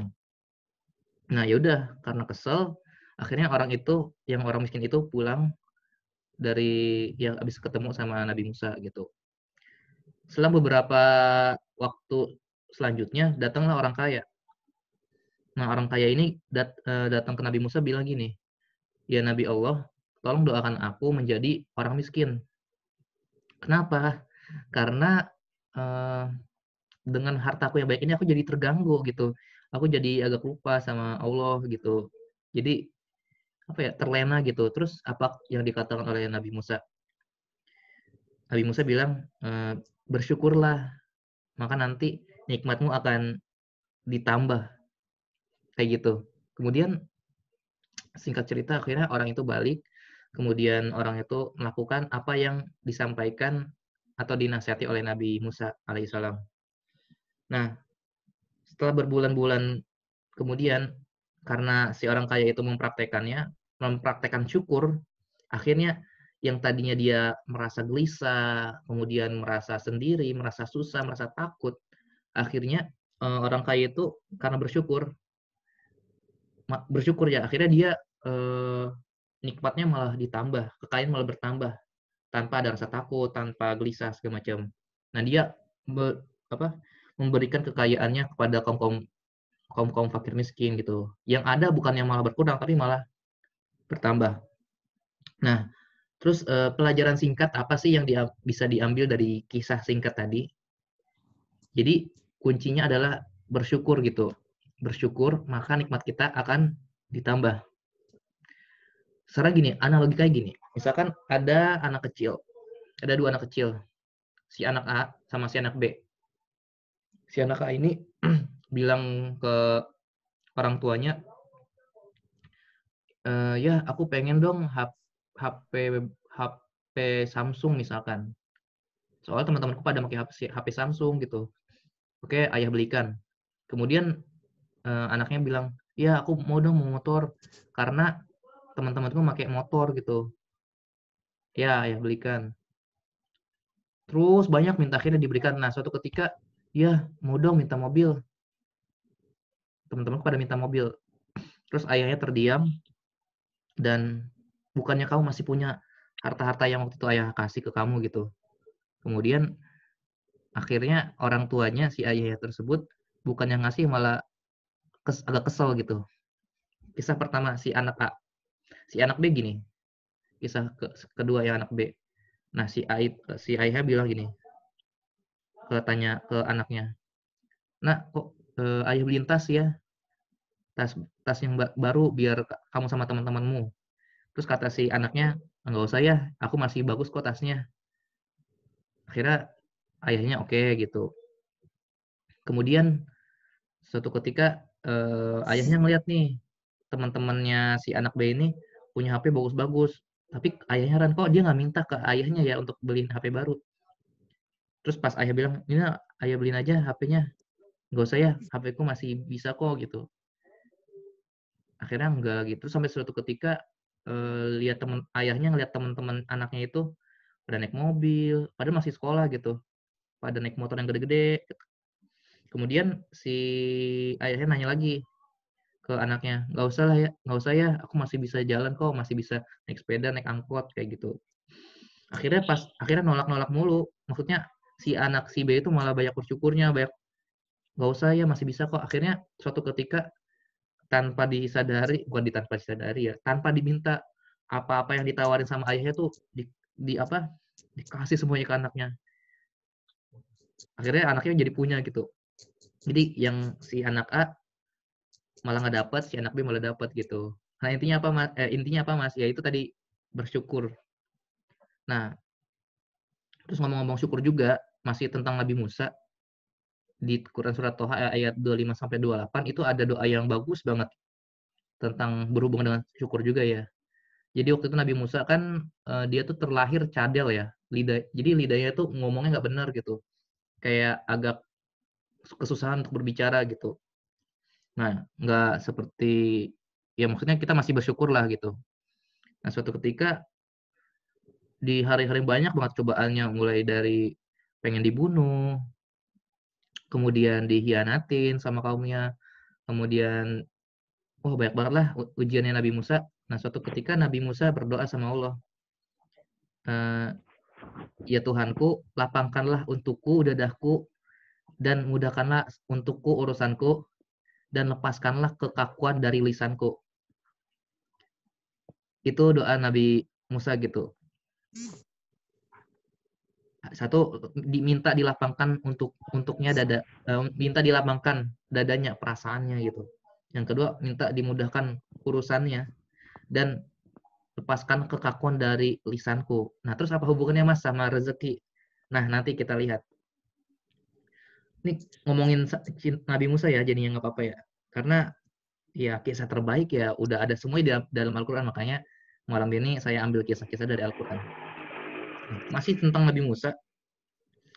Jadi eh, suatu ketika Nabi Musa itu ngelihat lagi lagi rebahan gitu, lagi istirahat lah di pohon. Nah ngelihat tuh ada orang ngambil ngam- ngambil air ngantri laki-laki badannya gede ngam- ngambil air. Nah kemudian nggak jauh dari situ ada dua orang gadis yang berdiri nungguin antrian itu selesai gitu.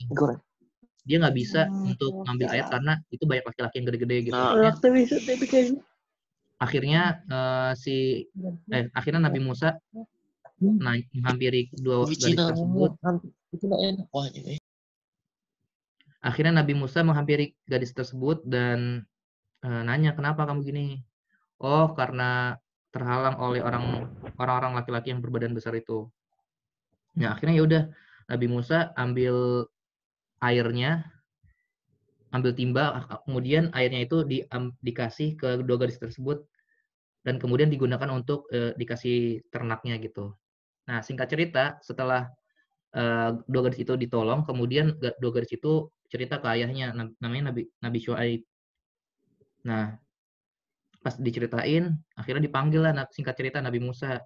Kemudian dijadiin sebagai pekerja di rumahnya selama 8 tahun dan akhirnya malah dinikahkan sama anaknya gitu. Nah, pas dinikahkan itu dikasih harta yang banyak banget gitu. Pe- Peternakan dan macam-macam untuk eh, kehidupan selanjutnya. Nah, terus eh, kesimpulan dari kisah-kisah Nabi Musa apa Mas malam ini? Nah, kita akan akan belajar dari kesimpulan ini. Sama satu lagi gini. Waktu itu Nabi Musa pernah do- berdoa sama Allah. Ya Allah, terima kasih ya Allah atas segala nikmat karunia yang Engkau berikan kepadaku dan aku minta sekali lagi berikanlah aku keajaiban, berikanlah aku pertolongan. Nah, itu waktu itu kan beliau dikejar-kejar tentara Firaun kan. Nah, dia tuh berdoa sungguh-sungguh banget sama Allah. Jadi udah kepepet banget. Udah kepepet tuh. Udah di depan tuh laut, laut gitu. Akhirnya Nabi Musa berdoa kepada Allah, "Ya aku teri- berterima kasih atas segala anugerah nikmat karunia yang Engkau berikan kepada aku. Dan ku minta mohon sekali lagi berikanlah nikmat itu ke aku agar aku bla bla bla bla selanjutnya gitu. Akhirnya lautnya terbelah dan akhirnya Nabi Musa bisa melewati dari cobaan-cobaan hidupnya itu bersama kaumnya. Nah, kesimpulannya gini teman-teman. Jadi eh, syukur itu ada maknanya teman-teman. Syukur sama pasrah beda ya teman-teman. Jadi kalau pasrah itu ya udah pasrah gitu. Nah, syukur itu itu memiliki makna mengoptimalkan segala potensi yang ada untuk menghasilkan kebaikan gitu. Itu syukur. Jadi kalau kita bersyukur punya mata yang baik ya udah matanya kita gunakan untuk melakukan yang kebaikan gitu. Nah, kemudian saya buat sederhana lagi. Syukur itu ada bisa kita gun, eh, kita aplikasiin ke tiga hal. Yang pertama adalah kita bersyukur kalau eh, dengan cara berpikiran positif gitu, berperangkas berprasangka baik terhadap Allah. Pikiran kita harus positif. Makanya diajarkan oleh Nabi waktu itu untuk husnuzon bukan suuzon, positive thinking bukan negative thinking. Seperti itu. Dalam hal apa pun, dalam hal urusan kuliah, sekolah, bahkan sampai ke urusan pekerjaan, rezeki, usaha. Kalau misalkan gini, kalau kita pengen eh, punya impian, punya penghasilan misalkan satu miliar dalam tahun 2020 ini atau dua tahun lagi nih, kita pengen banget punya penghasilan satu miliar ya Allah. Soalnya belum pernah nih ngerasain gimana punya penghasilan satu miliar gitu. Ya udah, ini pikiran harus dipositifin dulu, jangan sampai kita ngomongnya pengen tapi pikirannya enggak gitu. Nah, kemudian yang kedua adalah ungkapannya. Ungkapannya atau perkataan tuh harus positif juga sebagai wujud syukur kita gitu. Yang ketiga adalah memaksimalkan potensi. Ya tadi ya udah saya uh, bahas sebelumnya gitu. Jadi syukur itu bisa diaplikasikan ketiga hal ini. Pikiran positif, ucapan positif dan memaksimalkan potensi yang ada. Karena beda banget. Syukur dan pasrah itu beda banget. Kalau pasrah ya udah kayak nerima padanya, nggak ada perjuangan, katanya takdir, padahal mah bukan itu maksudnya gitu. Ketika Allah atau Tuhan itu mengasih suatu cobaan atau rintangan atau apa ya namanya? Itu, itu hal cobaan, rintangan ke dalam hidup kita itu bukan berarti kita cuma maksudnya cuma nerima gitu aja, cuma pasrah enggak. Emang sih ada, ada takdir gitu, tapi Allah tuh pengen gini. Kita tuh pengen naik kelas gitu. Ketika kita dikasih masalah atau dikasih rasa lapar, rasa, rasa takut. Nah, bagaimana caranya kita di dalam kondisi tersebut apalagi sekarang saat lagi corona ya. Semuanya langsung uh, berhenti semua kegiatan gitu. Termasuk sekolah, bisnis. Akhirnya banyak lagi ngaruh ke ekonomi gitu kan orang bingung sekarang. Ya bagaimana kita bisa tetap bersyukur gitu. Masih diberikan hidup, kemudian bisa diberikan kekayaan. Apa kekayaannya? Ini seluruh panca indera, seluruh organ, seluruh badan kita ini adalah kekayaan gitu. Bayangin kalau misalkan coba kita punya 10 jari tangan, kemudian satu jari kita itu nilainya 70 juta rupiah misalkan. 70 juta rupiah. Nah, kira-kira kalau di 70 juta dikali 5 kan udah gede banget tuh, 350 juta berarti itu. Ya enggak? 350 juta rupiah. Nah, ada yang mau donor jari. Nah, teman-teman mau nggak dijual gitu jarinya? 5 jari aja nggak usah 5 nggak usah semuanya, 5 jari aja. Mau nggak? Nggak mau kan pastinya gitu. Bahkan waktu itu eh, Dahlan Iskan pasti tahu kan Bapak Dahlan Iskan. Dia bilang gini. Saya baca waktu itu ya. Jadi jika seluruh organ tubuh kita dijual, itu nilainya sekitar 200 triliun rupiah. 200 triliun berapa tuh nolnya? Banyak banget teman-teman. Banyak banget gitu. Atau coba teman-teman cari harga eh, harga organ pasar gelap itu ada jantung, ginjal sekian, telinga, mata, kaki, tangan, bah itu nilai yang pasar gelap aja itu gede banget, apalagi yang asli gitu. Apalagi kalau misalkan oksigen dibayar tuh. Bayangin kalau misalkan kita nafas, kita bayar sama yang punya oksigen, kita habis berapa itu? Ada itu di India, itu kafe oksigen. Per 15 menitnya berapa ratus juta gitu. Berapa puluh juta, saya lupa. Per 15 menit gitu, mahal banget teman-teman. Nah, jadi kita di kondisi seperti ini, kondisi corona, yang tadinya beraktivitas gampang, sekarang lagi jadi terbatas. Nah, gimana cara kita bisa tetap bersyukur, teman-teman? Ya tadi minimal pikiran positif, ungkapan positif, ucapan ya jangan sampai hal-hal negatif kayak, ya corona mulu nih, ya aduh sial nih, ya bisnis orang tuaku hancur nih, ya aku nggak usahaku berhenti. Nah, jangan sampai kayak gitu, teman-teman. Tapi positif nih, ungkapan harus positif. Dan yang ketiga adalah memaksimalkan potensi itu. Gimana caranya di kondisi seperti ini, kita tuh cari peluang, buka peluang, cari berita-berita positif, cari peluang positif agar apa? Kita bisa memanfaatkan itu agar terjadi kehidupan yang lebih baik bagi kita ke depan. Karena jujur aja, banyak uh, ahli yang mengatakan corona ini belum belum tahu nih sampai kapan berakhirnya. Seperti itu. Nah, kemudian kalau saya, cara saya bersyukur adalah dengan cara berwirausaha. Kenapa? Ya, saya udah dikasih segalanya sama Allah. Mata, tangan, telinga, kaki, hati, sekolah bisnis, mentor bisnis, lingkungan yang positif banget, kemudian materi-materi positif, kemudian masa iya sih kalau saya yang apa saya simpan sendiri gitu. Akhirnya ya udah saya sharing, saya giving ke semua orang gitu. Siapa pun itu, mau orang tua, mau orang muda, mau orang kota, orang desa, saya nggak peduli gitu. Saya nggak peduli dia punya uang apa enggak, yang penting saya berbagi gitu. Dan malam hari ini saya berbagi ke teman-teman. Nah, dengan cara berwirausaha, berwirausaha. Saya ngajak informasi ini penting gitu. Kenapa? Karena kenapa sih Mas kalau Mas kok Mas Ayah secara bersyukur lewat berwirausaha gitu? Karena kata Nabi juga dan sahabat-sahabat Nabi, sembilan sembilan ya sembilan dari sepuluh pintu rezeki adalah dengan berdagang gitu.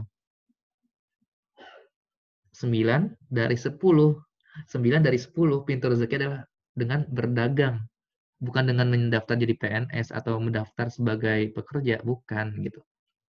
Kalau kita daftar jadi PNS atau pekerja, gimana mas? Ya boleh, silakan. Namanya juga pilihan hidup gitu. Tapi yang jelas dikatakan 9 dari 10 pintu rezeki adalah dengan berdagang.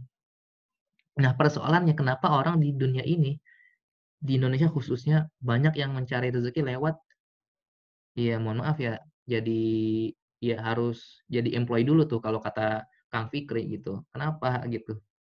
Nah, itu harus tanda tanya gitu. Kan dan kalaupun kita berbicara profesi nabi ya, Nabi Muhammad khususnya, beliau kan dari usaha itu dari kecil banget ya, bukan dari pas udah gede. Gede mah udah dari tajir gitu, dari usia lima tahun, udah mulai mengembala, usia 12 tahun udah mulai uh, internship atau magang sama pamannya ke luar negeri. 17 tahun juga melakukan perjalanan ke luar negeri juga ke beberapa negara. 20 tahun udah mulai jadi manajer finansial yang baik, konsultan keuangan, terus dikontrak sama sama perempuan namanya Khadijah. Nah, pas usia 25 tahun barulah Nabi Muhammad melamar Khadijah, Siti Khadijah dengan mahar ada yang mengatakan eh, 20 unta merah sama 100 unta merah juga. Jadi ada yang bilang 20 dan 100. Tapi intinya unta merah itu satunya aja itu itu kendaraan paling mahal saat, saat itu plus 20 ukaina emas. Jadi emasnya banyak banget. Jadi kalau dikonversikan itu nggak tahu berapa miliar tuh, berapa triliun gitu. Maharnya Nabi Muhammad ke Siti Khadijah saat itu. Sampai usia 20 tahun terus masih dagang itu. Nah, barulah usia 40 diterima misi nih sama Allah untuk jadi nabi. Itu dari track recordnya aja berdagang. Jadi 28 tahun ya kan Nabi Muhammad 63. Nah, 20 tahunnya itu digunakan untuk berdagang gitu. Sisanya 23 tahunnya.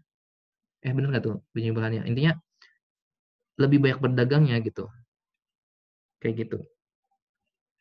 Nah, ngomong-ngomong soal bisnis nih, nah ini teman-teman silakan catat, silakan catat atau silakan foto gitu. Ada tiga cara bisnis yang ini umum banget general gitu. Yang pertama itu dengan cara konvensional. Jadi konvensional itu eh, kamu harus tahu caranya, kamu harus menguasai bidang itu, kamu harus suka, kamu harus punya ilmunya, kemudian kamu harus punya modalnya. Contoh, kamu buka warung makan atau buka mall gitu. Atau buka salon atau buka butik gitu. Nah, dari situ kamu bisa kalkulasikan Contoh, eh, kacanya berapa berapa ratus, pintunya berapa juta, ganggang pintunya, kemudian karpetnya, mejanya, garpunya, sendoknya, welcome-nya, welcome-nya yang diinjak itu parfumnya, sewanya, karyawannya, listriknya. Nah, itu sendiri kalkulasikan gitu. Atau teman-teman bisa tanya ke kenalan atau teman yang sudah menjalankan bisnis itu habis berapa gitu. Dan bisnis konvensional ini untungnya banyak banget. Tapi kalau sukses, kalau nggak sukses ya rugi gitu. Itu bisnis konvensional ya. Nah, yang kedua itu dengan cara fr franchise. Franchise ini adalah kayak kamu beli sistem. Jadi udah ada bisnis dan udah ada sistemnya, kamu daripada rempong-rempong buat sistem dari nol, uh, jadi beli sistemnya dan sistem itu nanti dioperasionalkan akhirnya menghasilkan uang. Contohnya kayak Indomaret, kayak Baba Raffi, kayak McDonald, KFC. Nah, pertanyaannya, berapa sih harga franchise saat ini gitu? Oh, ada juga tadi minuman yang bubble-bubble gitu. Nah, berapa sih pertanyaannya? Ya, tidak murah juga. Kalau misalkan contoh nih Indomaret nih yang yang Indonesia nih punya Indonesia dan ya lebih murah lah ketimbang McDonald atau KFC. Harganya ya dua tahun yang lalu itu kalau kita buka satu Indomaret di Jakarta, Jabodetabek itu minimal satu miliar. Kalau di Kalimantan 2 miliar gitu. Nah, kalau oh, buka Indomaret di daerah Jawa, Jawa Tengah nih, saya dapat informasi dan dikasih tahu sama bapak-bapak di sekolah bisnis saya yang baru beli Indomaret tahun lalu, itu harganya 700 juta rupiah. Dan bersihnya setiap bulan itu kisaran 2, 20 atau 25 juta rupiah per bulan. Nah, coba hitungin aja tuh. Balik modalnya berapa berapa lama. Dan belum lagi karyawannya, ngurus listriknya, segala macam. Berat nggak? Nah, itu kalau anaknya sultan mah nggak masalah gitu. Tinggal buka franchise gitu. Apalagi langsung aja konvensional gitu kan. Nah, masalahnya kalau saya pribadi, saya bukan anak sultan, bukan dari latar belakang keluarga yang banyak banget duitnya turah-turah, enggak kita dari keluarga biasa-biasa aja. Akhirnya saya memilih opsi personal franchise. Nah, personal franchise ini kayak perpaduan konvensional dan franchise, tapi kita punya sendiri. Kita yang punya, bukan punya orang lain gitu. Nah, apa sih yang dijalani sama Mas Ayas? oh ya, so, gini, personal franchise juga modalnya sih ya sedang lah. Tapi ngasilin uangnya itu gede banget gitu. Gedenya tuh ilustrasinya aja ya. Kamu beli bakso tapi bisa sama abang-abangnya sama gerobaknya sekampung tuh, sekota. Nah, itu potensinya gede, segede itu gitu. Bahkan tadi sempat disinggungkan di awal sama Mas Husam. Jadi kita bergerak ya global, bukan hanya lokal tapi global gitu. Karena karena udah masuk revolusi industri 4.0 ya, kayak gitu. Jadi personal franchise apa sih yang Mas Ayas jalankan selama ini sehingga bisa punya cabang beberapa cabang di beberapa kota bahkan ada yang di luar negeri gitu. Jadi yang Mas Ayas eh Mas Ayas jalankan saat ini eh, dengan bermitra dengan perusahaan Jepang namanya Enagic gitu. Alasannya kenapa sih Mas? Sederhananya gini. Satu, ini produknya kelas dunia di produknya dipakai di Gedung Putih, dipakai sama artis-artis Hollywood, dipakai oleh pejabat-pejabat di Indonesia, artis-artis, influencer, dipakai sama toko-toko yang high class gitu. Kemudian eh, di sini alasan selanjutnya adalah bisa sedekah setiap hari bahkan seumur hidup gitu.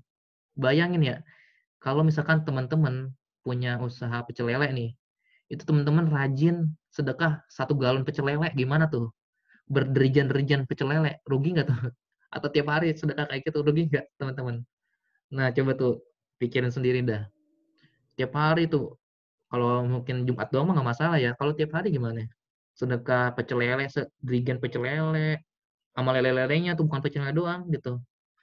Udah jadi gitu. Nah, itu kan agak berat juga. Nah, kalau Mas Ayas jalanin aja ya karena bisa sedekah seumur hidup setiap hari dan seumur hidup gitu. Udah seumur hidup setiap hari gitu. Dan ketiga alasan sederhananya adalah langsung dapat bisnis di 23 negara dengan 40 kantor cabang standar internasional. Nah, makanya tadi Kang Fikri kan cerita udah pernah ngisi di Malaysia. Kemudian kalau aku udah pernah waktu itu ngisi, alhamdulillah juga Qadarullah ngisi di luar juga ya waktu itu awal tahun 2019 gitu.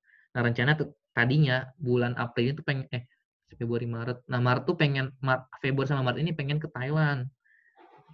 Ada ada cara di sana sama meeting Thailand, eh, Singapura, Malaysia. Cuma karena Qadarullah ada corona akhirnya kita pending dulu gitu. Seperti itu teman-teman.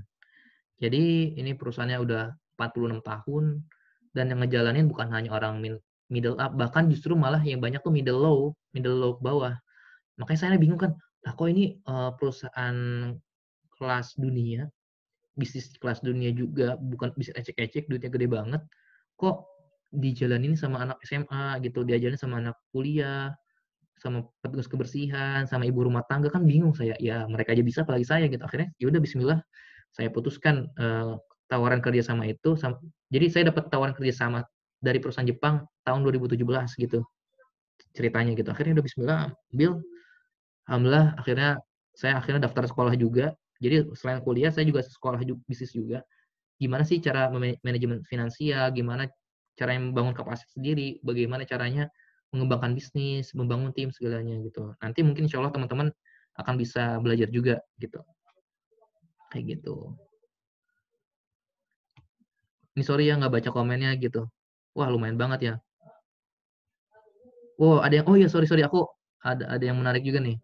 Ada yang kata Yusuf Fikri nih kemarin gue nanya tentang harga franchise warung abnormal itu sekitar 800 sampai 4 m. Gila kan? Dan itu pun satu, baru satu doang gitu ya Allah aduh emang ibarat gini suatu dilema banget gak sih teman-teman ketika teman-teman mau kaya, tapi ketika teman-teman mau kaya, dituntut kaya dulu untuk kaya. Maksudnya gimana?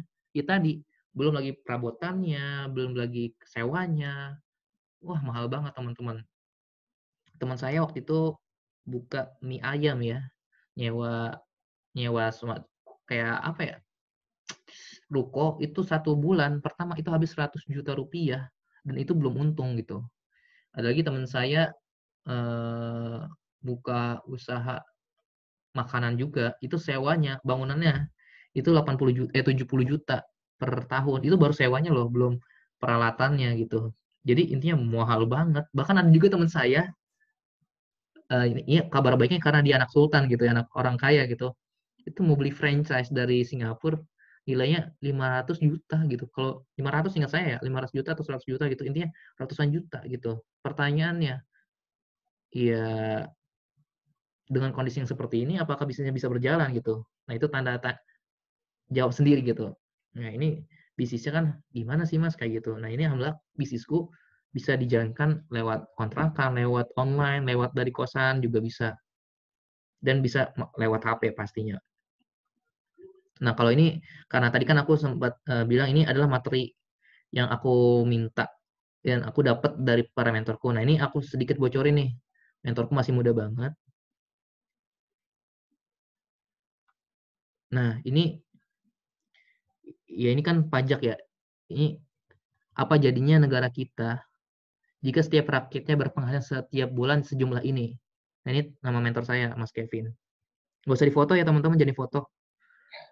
Jangan dilihat dilihat aja. Itu yang per, di sini nih dasar pajak eh peng- jumlah penghasilan ini awal-awal tahun 2017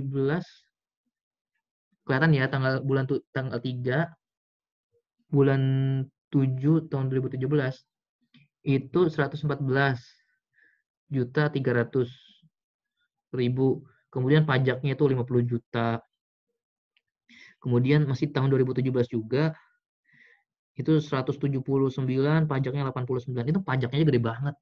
Itu bisa beli abang tukang bakso sama gerobaknya sama abangnya. Luar biasa. Kurang besar ya pokoknya gitu dah. Nah terus eh, kenapa sih mas? Eh, kok bisa kayak gitu sih mentor saya? Dan saya insya Allah lagi mengarah ke sana. Karena kita ketika kita punya kendaraan bisnis kita nggak jalan sendiri kita ada mentornya ada keluarga eh, ada sekolahnya. Nah yang di sekolah saya juga diajarin di bagaimana tentang health and fitness tuh kesehatan fisik intelektual emosional karakter spiritual love relationship parenting sosial career financial quality of life sama life vision. Itu diajarin semuanya di sekolah bisnis ini di komunitas ini. Makanya pada bingung kok Ayas yang dulunya kayak gini kok bisa kayak gini? Gitu. Bukan apa-apa ya. Karena ya tadi ketika kita bergaul sama orang kaya ya pasti kita akan ketularan orang kaya juga gitu. Kayak kata Nabi kalau kamu bergaul sama tukang bak eh tukang bakso kan tukang besi kamu akan kecipratan besinya. Kalau kamu tukang parfum bakal dapat parfumnya. Nah seperti itu. Makanya kita pernah dengar masa depan seseorang itu ditentukan oleh 5 atau 10 orang. Orang yang paling dia sering hubungin sering komunikasi. Setuju atau nggak setuju percaya atau enggak silahkan. Kalau masa depan teman-teman itu lihat aja teman-teman kalian siapa gitu. Kemudian kalau mau ngelihat tentang soal penghasilan, ya udah penghasilan kal kalian di masa datang eh, di masa depan itu ju jumlahin. Penghasilan lima orang itu atau penghasilan 10 orang itu dijumlahin dibagi 10. Nah, itu kurang lebih penghasilan kita atau teman-teman di masa depan setahun lagi atau dua tahun lagi tergantung cara diambil dari berapa ya berapa bulan berapa besarannya berapa dalam sebulan atau setahun gitu. Nah, makanya memilah-milih teman itu kalau menurut saya itu adalah suatu hal yang penting. Maksudnya bukan memilah juga sih, tapi gini, kita semua gaul, tapi dalam hal untuk uh, perjuangan kehidupan, dalam hal untuk menerima, mendengar nasihat atau berbagi itu ya harus kita harus selektif gitu. Jangan sampai semua perkataan orang kita dengar akhirnya apa?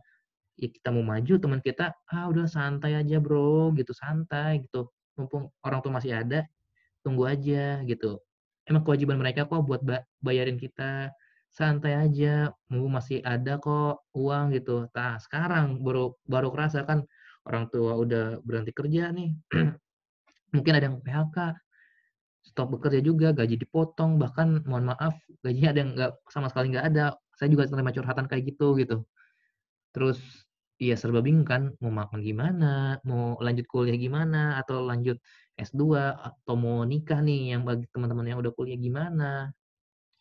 Itu pun orang tua masih ada. Kalau udah nggak ada gimana? Siapa yang bayarin kita? Siapa yang bayar adik-adik kita? Nah, itu perlu kita tanyai itu ke diri kita. Walaupun masih muda.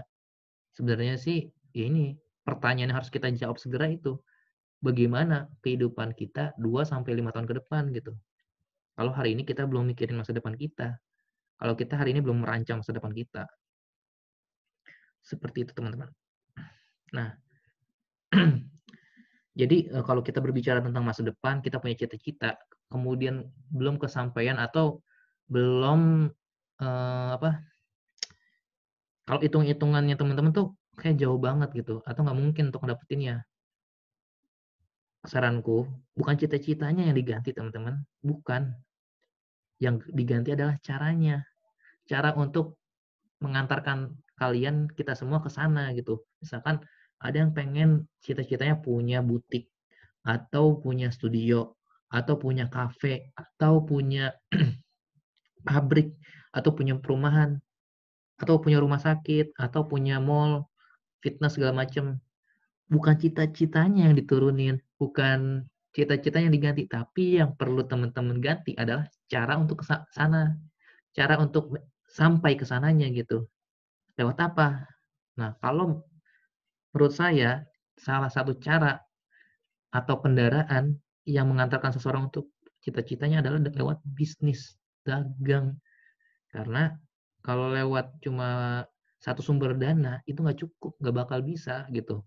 Sekarang aja apa ya uh, eh, PHK udah gede gitu di mana-mana gitu. Tadi datanya 1,27 eh 1,2 juta akan PHK gitu. Bahkan udah ada yang PHK juga gitu. Nah, itu harus diperhatikan dan bisnis itu makanya bukan sebagai tujuan, bisnis itu adalah sebagai caranya aja atau kendaraannya aja untuk mengantarkan seseorang ke tujuannya, ke cita-citanya. Seperti itu, teman-teman. Nah, di akhir seperti yang saya sampaikan eh, kepada rekan-rekan di akhir ini saya karena ini ya kita sama-sama paham saat ini kondisi sulit, beraktivitas sulit, bisnis tersendat, bahkan ini saya buka data ya data dan habis ngobrol-ngobrol juga sama, pengusaha yang punya cabang rumah makan belasan. Ada yang di Solo ada yang di Jakarta. Itu sampai ya banyak banget kerugiannya. Di atas 70% bahkan kafe apa coffee shop coffee shop yang warnanya hijau itu yang di daerah Solo ya itu kerugiannya 70% per harinya. Waktu saya naik Gojek juga, naik Gojek itu 70% menurun drastis tis pas di saat corona ini gitu. Akhirnya apa? Ya udah akses-akses yang saya punya ini saya buka dan saya beri dan saya berikan ke teman-teman ini bisnis class voucher for satu week for untuk satu pekan. Jadi voucher kelas bisnis untuk satu pekan bisa digunakan untuk satu keluarga. Jadi teman-teman belajar bisnis.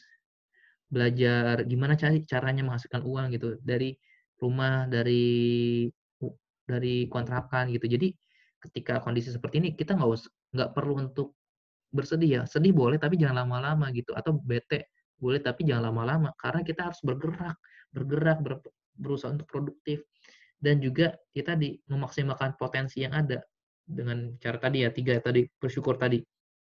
Pikiran positif ucapan positif dan juga perkataan positif. Nanti caranya gimana mas? Ini silakan di screenshot. Nanti kalau mau mendapatkan aksesnya nanti setiap hari, setiap Senin, Selasa, Rabu, Kamis, pokoknya setiap hari itu ditukarkan dan kasih vouchernya ke CP-nya ya. CP-nya tuh ada Usam ya tadi ya, yang juga jadi moderator. Jadi nanti ditukarkan ke Usam, Mas, saya mau menukarkan uh, voucher ini untuk hari ini. Dan kalau hari Selasa, Mas, saya mau menukarin uh, dapetin akses linknya untuk hari Selasa gitu. Jadi kita ganti-ganti terus uh, passwordnya dan nanti kalau misalkan ini merasa cocok untuk teman-teman atau cukup membantu kehidupan keluarga teman-teman bisa diperpanjang penggunaannya gitu jadi semoga ini bisa bermanfaat dan bisa sedikit membantu hmm. keluarga teman-teman agar apa minimal banget satu keluarga ada satu entrepreneur satu pengusaha makanya kan tadi salah satu tulisan di posternya one family, one entrepreneur gitu. Itu juga yang di selalu digembor-gemborkan oleh Bang Sandi Uno. Eh, voucher atau salah voucher. Salah ini ya. Oke, uh, teman-teman. Semoga bermanfaat. Uh, dari aku cukup sekian. Mungkin selanjutnya aku serahkan kepada MC kepada Mas Husam. Mungkin ada sesi tanya jawab waktu dipersilakan. Assalamualaikum warahmatullahi wabarakatuh. Waalaikumsalam warahmatullahi wabarakatuh. Gimana nih teman-teman setelah mendapatkan seminar materi dari Kak Ayas dan Kak Fikri gimana nih tambah semangat tambah semangat lagi usahanya atau malah biasa aja gitu?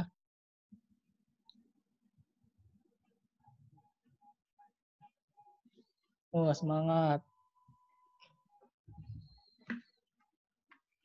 Ya, kita biar cepat, kita langsung aja nih ke sesi tanya jawab. Jadi yang pengen bertanya, langsung aja komen. Tapi pertanyaan yang duluan masuk, itu yang bakal duluan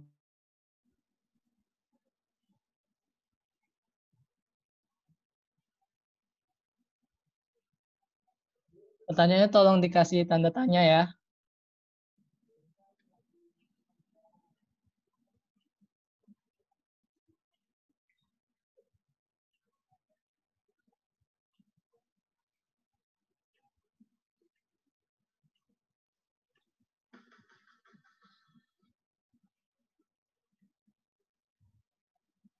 Ini ada pertanyaan pertama.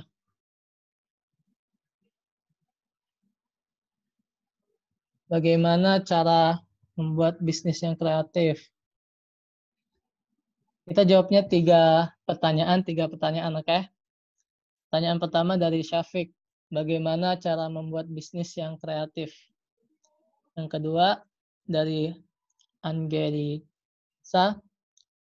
Bisnis untuk anak muda yang tidak mengganggu waktu belajar dan sekolah. Yang ketiga, di Yusuf Fikri. Bisnis yang menguntungkan dan menggiur, menggiurkan untuk para mahasiswa luar negeri seperti Madinah. Mungkin Kak Fikri atau Kak Ayas dapat menjawab Kak tiga pertanyaan terlebih dahulu.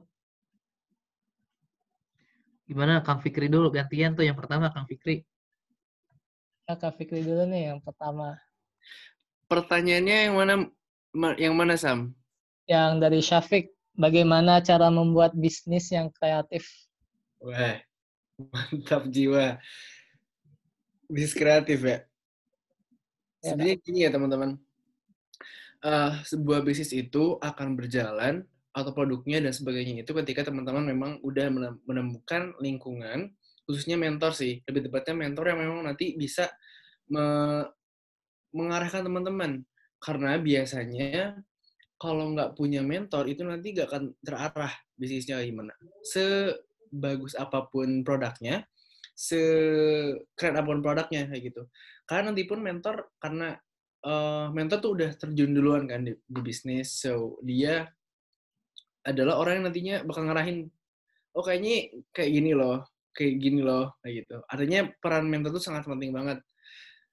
Dan teman-teman kalau ngomongin bisnis kreatif, sebenarnya eh, yang tadi disebut Mas Ayas, kreatifnya dalam bidang kayak gimana gitu.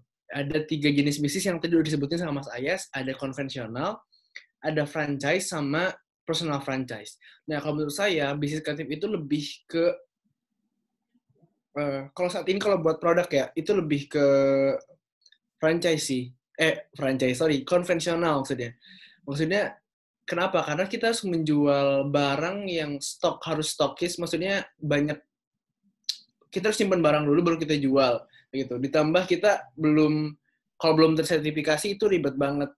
Nah, makanya teman-teman tadi ada rekomendasi dari Mas Ayas kalau mau berbisnis ya pilih aja yang yang memudahkan gitu kan, apalagi yang uangnya gede, ya nggak sih gitu kan. Kalau misal- misalnya ada bisnis yang lebih menguntungkan dibandingkan yang merugikan, kenapa kita milih yang merugikan gitu. Dan dan kita nggak perlu nggak perlu susah-susah untuk buat produk, nggak perlu susah-susah untuk eh apa ya istilahnya buat perusahaan kayak gitu.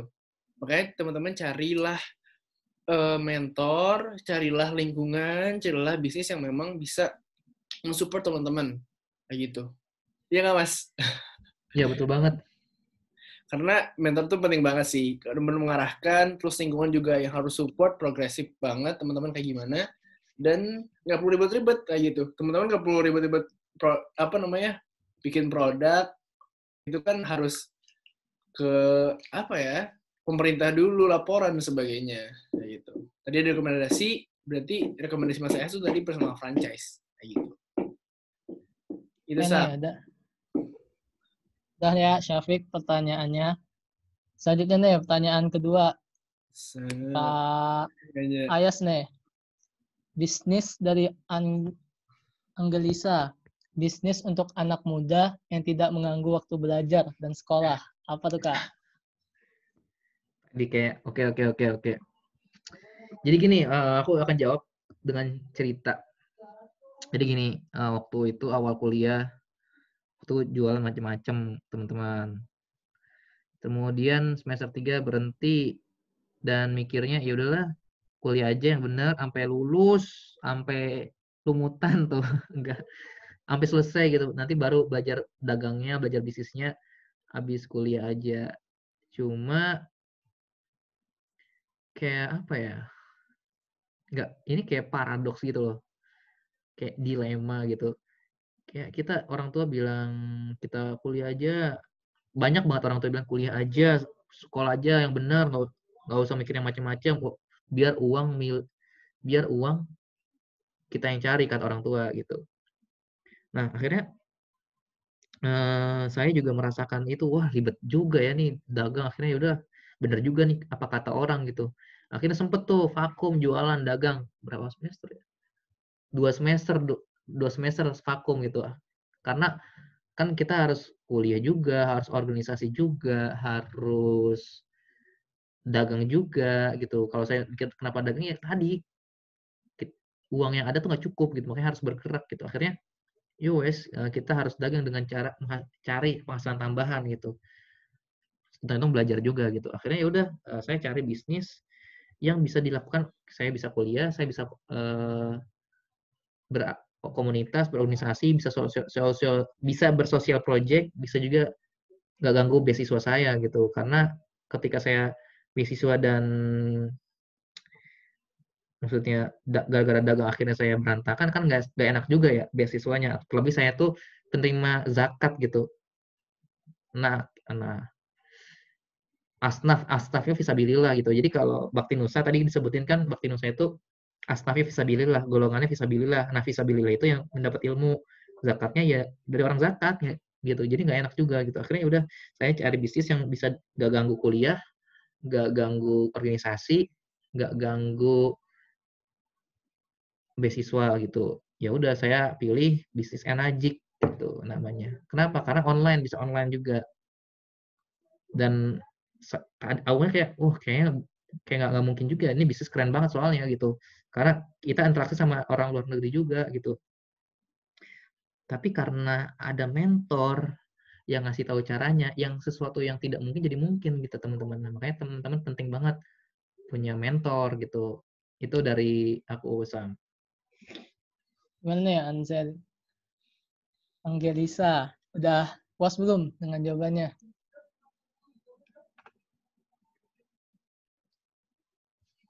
Ya, kita lanjut aja nih pertanyaan selanjutnya dari Yusuf Fikri.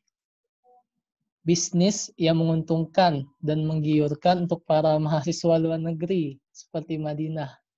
Wih, ini udah calon-calon Madinah nih, Kak. Dari siapa tuh? Dari Yusuf Fikri, Kak. Insya Allah. Boleh jawab, Kak?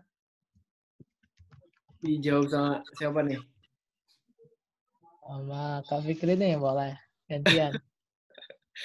bisnis gini teman-teman kalau teman-teman eh, dalam memilih suatu bisnis yang harus teman-teman perhatikan itu ada beberapa ini yang saya ingat ya mungkin nanti Mas S boleh boleh menambahkan gitu. Boleh, boleh. eh potensi income potensi income itu adalah potensi penghasilan yang akan nanti teman-teman capai gitu. Saya baru mendapat kabar pekan lalu eh, ada yang namanya tuh eh, Oce Tony beliau beli Alfamart sen- eh Indomart gitu Alfamart saya lupa. Indo Se- Indomaret. oh Indomaret ya. Indomaret seharga 700 juta ah, gitu. 700 juta. Dan itu balik modal atau break even point BEP-nya itu sebutnya itu istilah bisnis ya istilah ekonomi gitu. BEP-nya itu atau balik modalnya itu sekitar 2 sampai 3 tahun kayak gitu. Jadi teman-teman kalau mau milih bisnis carilah yang potensi income-nya potensi peluangnya itu yang potensi income-nya penghasilan itu yang gede banget kayak gitu dan BEP-nya atau balik modalnya juga cepat gitu udah penghasilannya gede dan juga balik modalnya cepat kayak gitu selanjutnya eh, setelah apa tadi potensi penghasilan ada berapa sih mas? Saya lupa nih. Dari Pak Suhendra Setiadi nih, mahal banget ilmunya. Eh, setelah potensi income itu dilihat dari eh, produk ya nggak sih? Hah? Udah lupa nih. Oke, intinya teman-teman dilihat da- kalau mau bisnis itu ana- analisa, analisa dulu gitu. Nanti teman-teman bisa compare bisnisnya kayak gimana. Simpelnya kayak tadi yang kata Mas Ayas. Dari eh, tiga konvensional, franchise, sama overall franchise. Itu dari potensi income-nya kayak gimana. Balik modalnya kapan. Produknya kayak gimana. Kita harus ngurus pajak enggak, ribet enggak, harus ada eh, harus ada perusahaannya enggak, harus ada karyawannya enggak, harus ada SOP-nya enggak, harus ada sistemnya enggak, kayak gitu. Makanya teman-teman carilah yang paling memudahkan, apalagi untuk yang di Madinah nih. Teman-teman kalau jualan apa ya di Madinah? Jualan martabak di Madinah itu enggak tuh? Sesuai enggak target marketnya? Ya itu bergantung sih kayak gimana. Nah, teman-teman kalau mau di Madinah juga ada, di Indonesia juga ada, Malaysia juga ada, Thailand juga ada, carilah bisnis internasional berarti. Jangan jualan kayak semacam konvensional artinya jualan kayak semacam jualan ya tadi kayak tadi martabak atau semacam gamis gitu kan. Kalau gamis kan itu kebutuhannya hanya untuk muslim kayak gitu. Ya, kecuali memang teman-teman mau kayak gitu. Dan berarti intinya teman-teman harus ke compare gitu ngebandingin mana yang baik untuk dijalankan yang potensinya gede yang juga balik modalnya juga gede kayak gitu ada tambahan mas Ayas Kalau ini berarti oke ada ada dari aku sedikit aja. Berarti ini yang nanya teman-teman yang eh siapa tadi namanya Sam? Yusuf Fikri kak. Siapa? Yusuf Fikri, anak HK nih kayaknya. Oh Yusuf. Oh gitu. Ini mungkin bisa jadi bisa dicoba juga. Kalau kamu pengen keluar coba ini buka jasa titip tapi hati-hati sih. Serius. Itu itu eh, menggiurkan. Cuma ya kamu harus hati-hati. Kayak Ya, itu. gitu. Nah, itu doang sih dari aku. Tapi sisanya udah bener banget sih apa kata Kang Fikri terkait bisnis. Jadi perlu juga kalau kamu mau bisnis perhatiin juga tuh eh, BEP-nya kapan BEP itu maksudnya balik modalnya kemudian bisnisnya untungnya gede apa kecil jangan sampai usahanya apa usahanya keras tapi untungnya kecil kan nggak se- nggak sebanding gitu. Kayak gitu. Itu sih dari aku tambahan dikit tapi udah keren banget. Kang Fikri tadi bilangnya jelasinnya Dan nih pertanyaan dari siapa tadi? Dari Yusuf Fikri. Lanjutnya nih, pertanyaannya dari Hilwa dan Febianti ya, kita gabung. Cara mempertahankan bisnis biar tetap jalan terus. Dan dari Febianti, sama nih tentang bagaimana cara bisnis kecil tetap bertahan di tengah pandemi corona saat ini. wih mantap pertanyaan Fikri du- Fikri dulu apa gimana Ya, monggo Mas Ayas. Saya sih Ini aku lagi mau ini juga googling. Ada jadi mau, mau nampilin ini sih, mau nampilin siklus, siklus. Oh, boleh Oh ya, Kak Fikri nih duluan. mempertahankan bisnis ya. Iya Oke. Kak. Teman-teman, nah gini. Ini pertanyaan keren banget karena nggak semua bisnis itu bisa bertahan, apalagi di tengah-tengah pandemi sep- seperti ini COVID-19 itu benar-benar mencekik semua eh, mencekik semua bisnis ya gitu.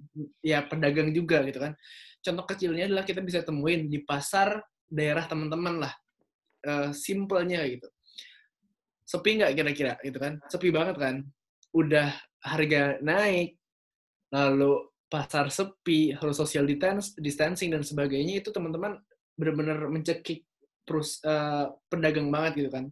Nah, sekarang di tengah-tengah COVID-19 ini, so eh, apa yang harus kita lakukan gitu kan? Nah, teman-teman artinya kita saat ini belajar bahwa eh, kita harus punya backup plan. Maksudnya backup plan itu ya kita bukan cuma jualan biasa aja, bukan hanya jualan konvensional aja, tapi melainkan ada backup plan yang jauh lebih besar gitu. Oke teman-teman kalau mau bisnis, mau berbisnis itu teman-teman harus yang pertama gitu ya harus eh, yang tadi cari potensi income yang gede dan balik modalnya cepat. Lalu teman-teman buka tuh saluran pipa eh, penghasilan teman-teman dari dari lubang mana aja kayak gitu. Jadi bukan hanya satu tapi banyak gitu. Ini hikmahnya ya teman-teman kita belajar hari ini COVID-19 pandeminya itu benar-benar luar biasa, sangat mencekik. Dan teman-teman berarti artinya itu harus kita harus prepare gitu. Berarti setelah ini nanti ini bakal apa ya? Ada potensi yang menguat sama potensi yang melemah. Nah, makanya potensi yang menguat ini harus kita cari. Apa aja nih? Contoh nih. eh yang paling menguat adalah eh, produk dan kesehatan, alat kesehatan. Iya nggak? Karena semuanya sekarang butuh sehat gitu. Sehat nomor satu. Gitu. Lalu selanjutnya adalah e-commerce. E-commerce itu kayak semacam Shopee, Tokped, dan sebagainya itu kan banyak ya. Jadi banyak orang yang beli online kan. Kayak gitu. Termasuk juga eh, saya nih baru beli masker. Itu kan juga online kayak gitu. Terus eh, semacam wifi dan sebagainya itu lagi ba- lagi banyak dicari dan potensi melemahnya banyak banget kayak gitu. Dan artinya kita harus cari cara bu- buat nge-sustainin bisnis-bisnis kita kayak gimana biar bertahan. Dan tadi kita harus punya backup plan, punya bisnis yang lain. Jadi bukan hanya satu teman-teman. Ini hikmahnya sih untuk saat ini kayak gitu. Udah ada mas yang mau ditunjukin? Agak nge-lag nih Google Chrome-nya. Tapi oke kamu ada selesai dulu aja nggak apa bro? Oke. Nah, bagaimana cara bisnis kecil tetap bertahan di pandemi corona saat ini? Bisnis kecilnya apa dulu nih, Febianti Miftah Salsabila? Karena kita mau nggak mau, itu keadaan kita saat ini tuh memaksa kita untuk berubah, untuk move on gitu. Karena kalau kita mengandalkan mengandalkan apa ya bisnis kecil kita saat ini gitu, eh, mungkin bisa survive, bisa bertahan hidup, tapi mungkin hanya beberapa beberapa bulan aja kayak gitu. Kan tadi juga dibilang ya pengusaha itu kuat cuma sampai Juni doang kayak gitu. Sisanya nanti Allah alam tuh karyawannya mau dikemanain. Entah di PHK atau hanya dikerumahkan tapi nggak dikasih gaji gitu. Makanya apalagi bisnis kecil kayak gitu. Nah saatnya teman-teman nanti kan dikasih voucher nih sama Mas Ayas ya itu coba dimanfaatkan mungkin bisa jadi salah satu jalan solusi untuk kita semua yang di sini ada 60 ada 65 orang ya ajak keluarganya semuanya untuk ikut nonton nanti di seminarnya syaratnya tadi kan gitu Oke, udah mas udah udah. oke lihat nih ngomongin soal bisnis ya. Nah, ini pengetahuan basic banget yang diajarin waktu kuliah. Nah, teman-teman kan ngeliat tuh bisnis cycle. Maksudnya siklus bisnis. Ada pertama-tama ter eh, ada growth, peak, recession, terus stock or depression. Nah, kalau misalkan eh, di sini nih di masa-masa growth, nah itu orang biasanya bakar uang banyak banget. Maksudnya gimana, Mas? Ya promosi gencar banget. Contohnya Oppo, Vivo itu kan gila-gilaan tuh sampai joget-joget kan badutnya tuh. Nah itu mereka growth lagi growth gitu.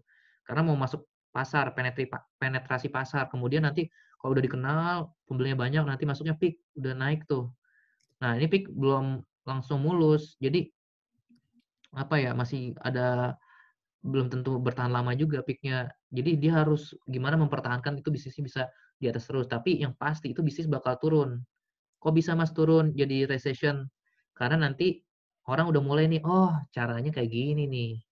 Oh caranya kayak gini yang bikin unik nih. Yang tokonya bikin rame kayak gini. Yang bisnisnya bikin rame ini nih. Akhirnya orang apa? Nyontek. Akhirnya banyak jadi mirip nggak bisnisnya? Banyak. Akhirnya ketika udah masuk fase di bawah ini, fase udah pilihannya dua nih, mau mati atau lanjut. Kalau lanjut itu harus bakar uang lagi, bakar cuan lagi agar bisnis kita berkembang terus gitu. Terus tadi eh, itu ya yang harus dipahami itu basic banget. Nah terus kemudian tadi sempat aku cari-cari datanya juga. Ini yang waktu dapat dari sekolah bisnis. Jadi enam para enam pertimbangan atau enam parameter bisnis. Yang pertama itu potensi income, kedua waktu pencapaian jangan sampai waktunya untuk dapetin 50 juta itu tunggu usia 55 tahun dulu baru dapat gitu. Terus ketiga effort atau usahanya masuk akal enggak? Sama keempat kompetitornya jangan sampai kita buka misalkan ayam geprek, eh kanan kiri udah ayam geprek kan bingung orang. Kelima modalnya berapa? Keenam resikonya seperti apa? Sanggup nggak nerimanya? Kayak gitu. Nah ini teman-teman boleh dicatat nih enam parameter bisnis. Iya kan badutnya tuh. Nah itu dari dari aku melengkapi. Aku mau coba share ini ya, Syam, bentar. Ya kak, silakan. Nah, ini teman-teman eh, salah satu yang aku dapat nih. COVID-19 ini benar-benar eh, apa ya istilahnya? Buat urusan lah ya. Sosial kita kena, ekonomi kita juga kena. Udah tadi kita dapat itu ya surat utang yang eh Eh, 2070. ini tugas kita semua teman-teman biar kita kalau semuanya nih sekarang ada 66 orang yang punya penghasilan 50 sampai 1 juta per bulan itu kita bisa bantu UMKM bisa bantu koperasi semuanya itu bisa oh karena lain Pajak. bisa maju wah iya benar Pajak Nah, tinggi. Iya benar jaga tinggi Negara Nah, maju tuh. bisa lihat teman-teman peta sektor industri terdampak corona artinya ada satu sektor ya, bi- ya satu sektor ekonomi bisnis itu benar-benar terpengaruh kayak gitu dan ini di aku dapat dari majalah dari Konten tuh, koran konten yang kamu share. oh iya benar nih Majalah Oke. konten. di sini ada dua potensi melemah dan potensi menguat tadi kan ada bilang ya gimana cara bisnis kecil untuk tetap sustain tetap bertahan nah kamu bisnisnya masuk ke yang mana nih pariwisata, penerbangan, otomat, otomotif, konstruksi, konstruksi dan infrastruktur, finansial, atau migas. Dan itu adalah potensi yang me- melemah. Artinya orang-orang tuh nggak bakal lagi, bukan nggak bakal lagi sih istilahnya, saat ini mereka nggak bakal ngelirik yang begituan. Kenapa? Karena eh, sekarang kan April ya, akhir Maret kemarin saya ikut seminar juga. Salah satu pembicaranya adalah eh, dia eh, perusahaan tentang wisata dan dia mendapat kerugian yang banyak banget di tengah COVID-19 ini. Di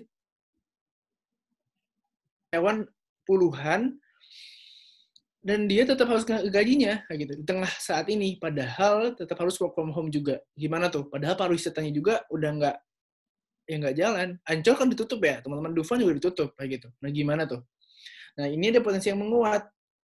Ada migas, agribisnis, telekomunikasi, retail e-commerce, farmasi, produk konversi, dan alat kesehatan. Nah, teman-teman hari ini, kalau teman-teman mau berbisnis, berarti dia di seputar ini aja, kayak gitu. Produk pembersih dan alat kesehatan. Itu bisa lihat di sini nih, ibas positif corona, permintaan hand sanitizer, pembersih lain, masker melonjak berkali-kali lipat, bahkan permintaan bahan baku masker hingga 200 sampai 300 persen obat, retail, e-commerce, social distancing. Itu wifi bahkan saya pun terkena saya harus pasang wifi karena di rumah nggak ada wifi jadi saya pasang wifi dulu untuk eh, untuk kuliah sih lebih tepatnya karena kan banyak tugas juga gitu. Dan ini jadi perhatian boleh eh, di screenshot kalau mau ya teman-teman. Dan ini penting banget harus teman-teman ketahui. Kayak gitu. Eh, Gimana Sam? Lanjut. Yang per- dua kita pilih acak aja ya dua pertanyaan lagi dan yang masih pengen tanya nih yang belum terjawabkan mungkin bisa kontak ke kita panitianya yang udah ada di grup bisa langsung kontak adminnya aja ya nih kita pilih dua dari Hilmi Aziz nih yang pertama untuk pebisnis muda, biasanya modal jadi kendala utama, Kak. Bagaimana caranya membuat bisnis yang berkembang dengan mengefektifkan modal yang minim? Untuk pembisnis muda, biasanya modal jadi kendala utama, Kak. Oh, jadi bagaimana mengefektifkan modal, Kak? Oke. Gimana nih, Mas Ayas? Tentang modal, Mas. Modal. Sebenarnya pertanyaan lagi sih, kebalik lagi. Modal itu apa sih sebenarnya? Nah, modal tuh banyak teman-teman. Definisi modal tuh banyak. modal tuh bisa anggota tubuh yang lengkap, kesehatan, kemudian kepercayaan, kemudian juga bisa ilmu. Cuma eh, ada satu modal yang paling berharga, paling mahal adalah waktu. Itu adalah aset dan modal paling mahal. Kenapa? Teman-teman nggak bisa beli waktu, benar nggak? Hari ini teman-teman nyanyiin satu hari nggak ngapa-ngapain, terus teman-teman besok sadar, oh iya mau tobat nih, ibarat, wah hari ini uh, aku kayak, aduh, nyesel banget deh satu hari kemarin. Nah teman-teman mau memperbaiki itu udah nggak bisa. Mau teman-teman mau beli sejuta, 10 juta, 100 juta nggak bisa ketika waktu udah berlalu. Maka modal paling berharga adalah waktu. Kapan? Ya saat ini, sekarang, masa muda. Kalau saya pribadi sih, lebih baik saya kehilangan masa muda daripada kehilangan masa depan. Makanya sedari mungkin sed, sed, sedini mungkin bahkan dari jauh sebelum saat ini dari SD saya udah mulai dagang gitu. SMP udah bacanya udah buku, ikut seminar-seminar. Jadi saya udah haus ilmu yang kayak gitu-gitu gitu. Nah, sekarang udah eksekusi banyak banget. Jadi udah udah ngerasain gitu oh kayak gini, oh kayak gini gitu. Jadi modal paling berharga adalah waktu. Nah teman-teman masih punya waktu nggak masih hidup? Nah gunakan waktunya. Cari impian yang besar kayak gimana, bisnis yang bagus seperti apa. Modal kalau soal uang tuh urutan paling bawah dan itu yang selalu dilihat oleh pengusaha kelas kakap ya, pengusaha-pengusaha yang udah tajir minter adalah soal uang, modal yang dimaksud uang itu paling bawah. Kenapa? Lihat dulu potensinya sebesar apa. Seperti itu.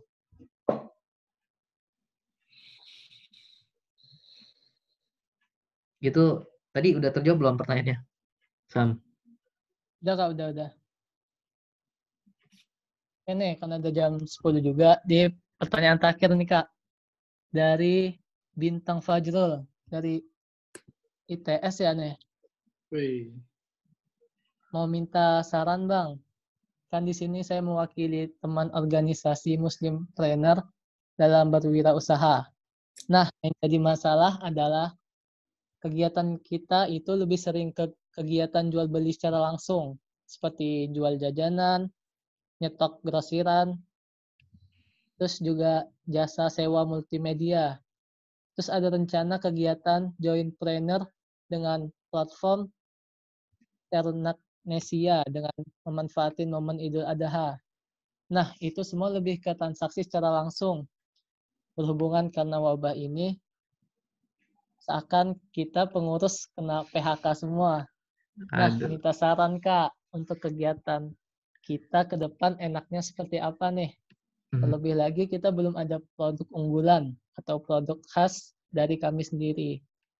Kita masih seperti reseller mau minta saran terkait kondisi kami sekarang Kak. Kang Fikri monggo yang kemarin habis ngisi entrepreneur show iya. di UPI. Intinya uh, terkait minta saran terkait kondisi. Oke. Okay. Teman-teman, uh, benar ya. Jadi kita malam ini kan di tengah COVID-19 ini, pandemi ini, banyak orang yang merasa dirugikan, tapi di balik itu semua pasti jelas pasti ada hikmahnya. Nah, hikmahnya adalah hari ini, malam ini kita beruntung bisa bertemu nih. Udah Allah set nih waktunya. Udah bisa belajar sama Kak Ayas, sama Kak Fikri, sama Muslim, dan lain-lain dan lain-lain gitu. Itu benar-benar beruntung banget. Oke. Dan kalau ngomongin kayak gini, saya sebenarnya agak miris. Kenapa? Karena yang harusnya asalnya bisnisnya ini terus banting setir ke bisnis yang lain harus banting setir ke yang lain makanya ini maksudnya uh, bintang ITS tuh ITS kampus ya atau gimana tuh iya bang dari dari ITS oh oke okay, oke okay, siap siap oh ada orangnya ya siap siap Gila, masa pertanyaan doang nyampe orang kagak ada. Enggak maksudnya. Oke. Okay. Jadi intinya lebih ke minta saran kan kayak gimana kayak gimana yeah. buat harus kayak gimana intinya gitu kan. Ya, benar. Nah, tadi sebenarnya udah disampaikan sama Mas Ayas, yang tadi yang, yang mengenai potensi income, lalu pesaing dan sebagainya, itu makanya teman-teman cari. Apalagi ini organisasi muslim plannernya pasti banyak orang kan, iya nggak sih? Iya kan, banyak ya. So, ini kesempatan banget buat teman-teman untuk, khususnya kamu ya, yang ikut. Nanti coba aja dimanfaatkan voucher yang ada, itu mungkin bisa jadi salah satu jalan. Jalan buat kamu untuk punya produk unggulan, ya gitu. Karena ini bisa salah satu, bisa menjadi, mungkin bisa menjawab, gitu. Yang mungkin dulu, eh, dulunya berdoa untuk dipertemukan dengan bisnis yang bisa buat super kaya raya, juga bisa jadi kan, ini bisa jadi jawaban, gitu. Dan saya selalu prihatin juga sih, karena memang harus banting setir. Mau gak mau, kayak gitu. Teman-teman kalau mau survive kan juga harus, ya tadi, fighting, kayak gitu. Asal teman-teman mau di sini mau pikirannya terbuka, teman-teman mau bantu banyak orang, terus eh mindsetnya juga jalan, itu juga insya Allah teman-teman bakal dipertemuin sama circle-circle yang baru gitu. Ini musim panel tuh kayak semacam UKM ya di ITS atau komunitas. Eh, udah jadi organisasi sih, cuman kayak dibagi beberapa sektor dan Muslim Planner bagian dari sektor itu. Oh, iya, mantap mantap. Kayak departemen-departemen lah kalau di organisasi kak. Oh, I see, I see.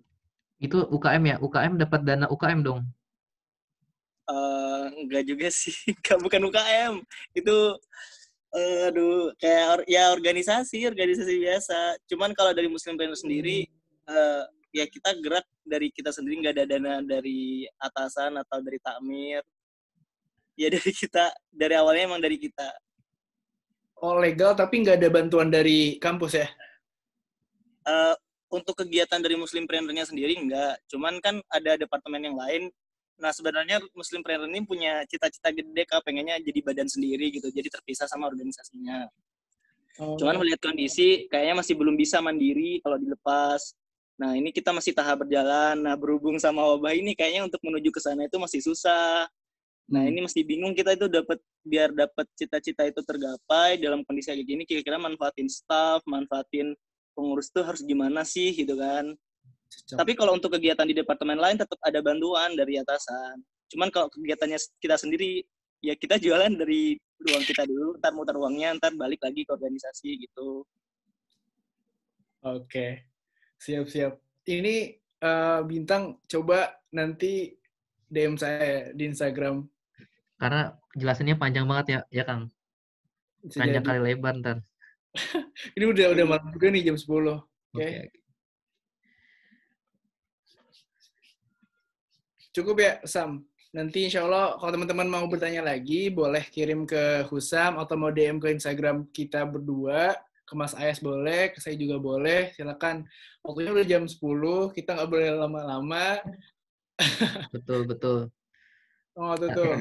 Nah, terus tadi kan eh, hari malam ini kan kita udah belajar banyak ya. Ini sebelum aku kita dari dari pemateri mau kembalikan ke MC, pengen bilang makasih banyak buat teman-teman sekalian yang udah ikut dari awal sampai akhir gitu.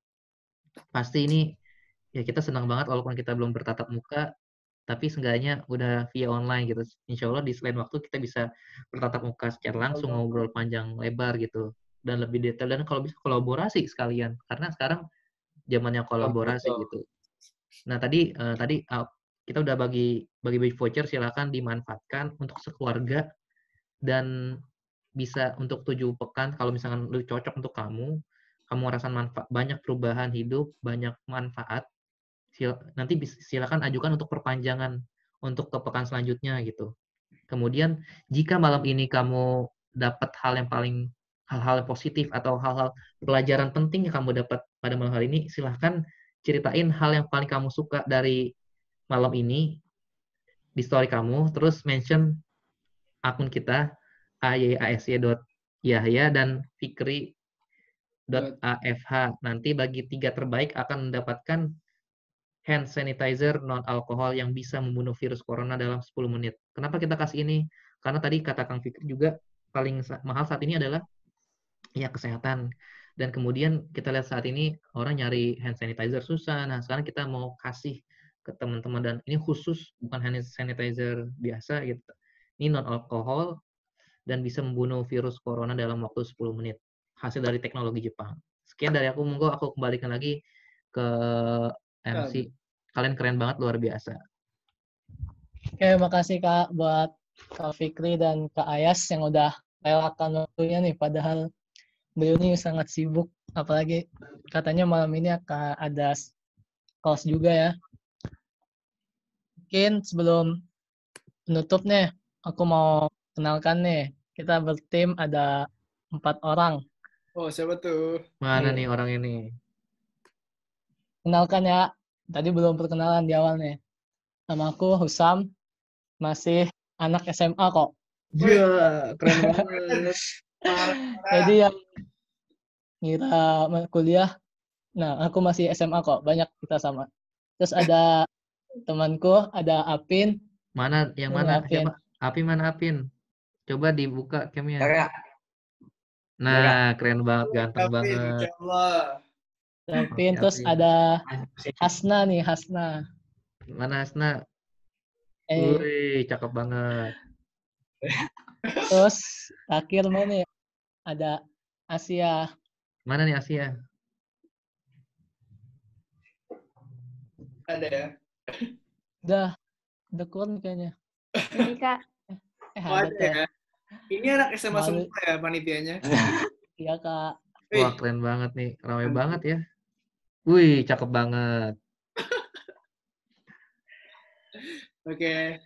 Jadi ini sebelum kita tutup, eh, kita foto banyak. Semuanya kalau yang mau hidupin kameranya dipersilakan. Boleh, boleh tuh, boleh tuh screenshot, screenshot. Keren banget dari 77 Gila. Wih. bertahan sampai 61. Luar biasa. Tadi sisanya pada alergi uang nih, teman-teman. Ya? Atau enggak mungkin ada tugas gitu, Kang. Mungkin. Iya. Ya. Ya, boleh tuh kameranya dibuka, kita foto bareng dulu. Ide Ya. bagus juga. Cakep. Mantap jiwa. Wih, ada yang sambil tiduran, ada yang sambil jalan-jalan. Ada yang lagi nahan air, mau ke WC ya ditahan tuh. Eh, semuanya dibuka dulu deh.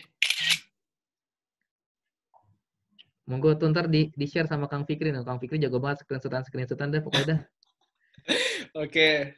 Oh ya, ini tenang aja ini kita rekam ya. Jadi insya Allah teman-teman bisa baca nonton lagi di channel YouTube-nya. Ntar dikasih tahu sama Husam.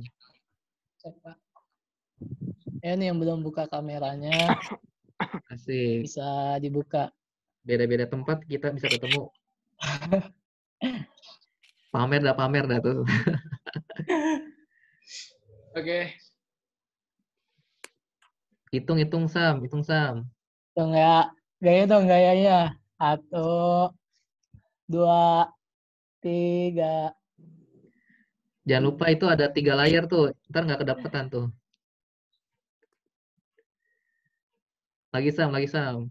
Ya, satu, Layar Dua. kedua. Yang kedua, yang kedua. Safia, Rahmadistia, Salma, Dania, Tia, Syafa, Amar. Oke. Layar ketiga, layar ketiga. Yang ketiga, ada Aufa, Tias, Dania, Syafa, Amar, Naila, Tasgia, Salma. Yeay. Terus terus. Sam, hitung Sam. ya. Satu, dua, tiga. Oke. Oke. Mungkin yang tadi ingin masih bertanya-tanya ke Kak Ayas atau Kak Fikri, bisa hubungi kita panitia atau langsung DM ke Kak Ayas dan Kak Fikri. Oke, kita tutup seminar yang luar biasa ini akan membaca yang bagi muslim silakan ikutin hamdalah alhamdulillahirabbil alamin Amin.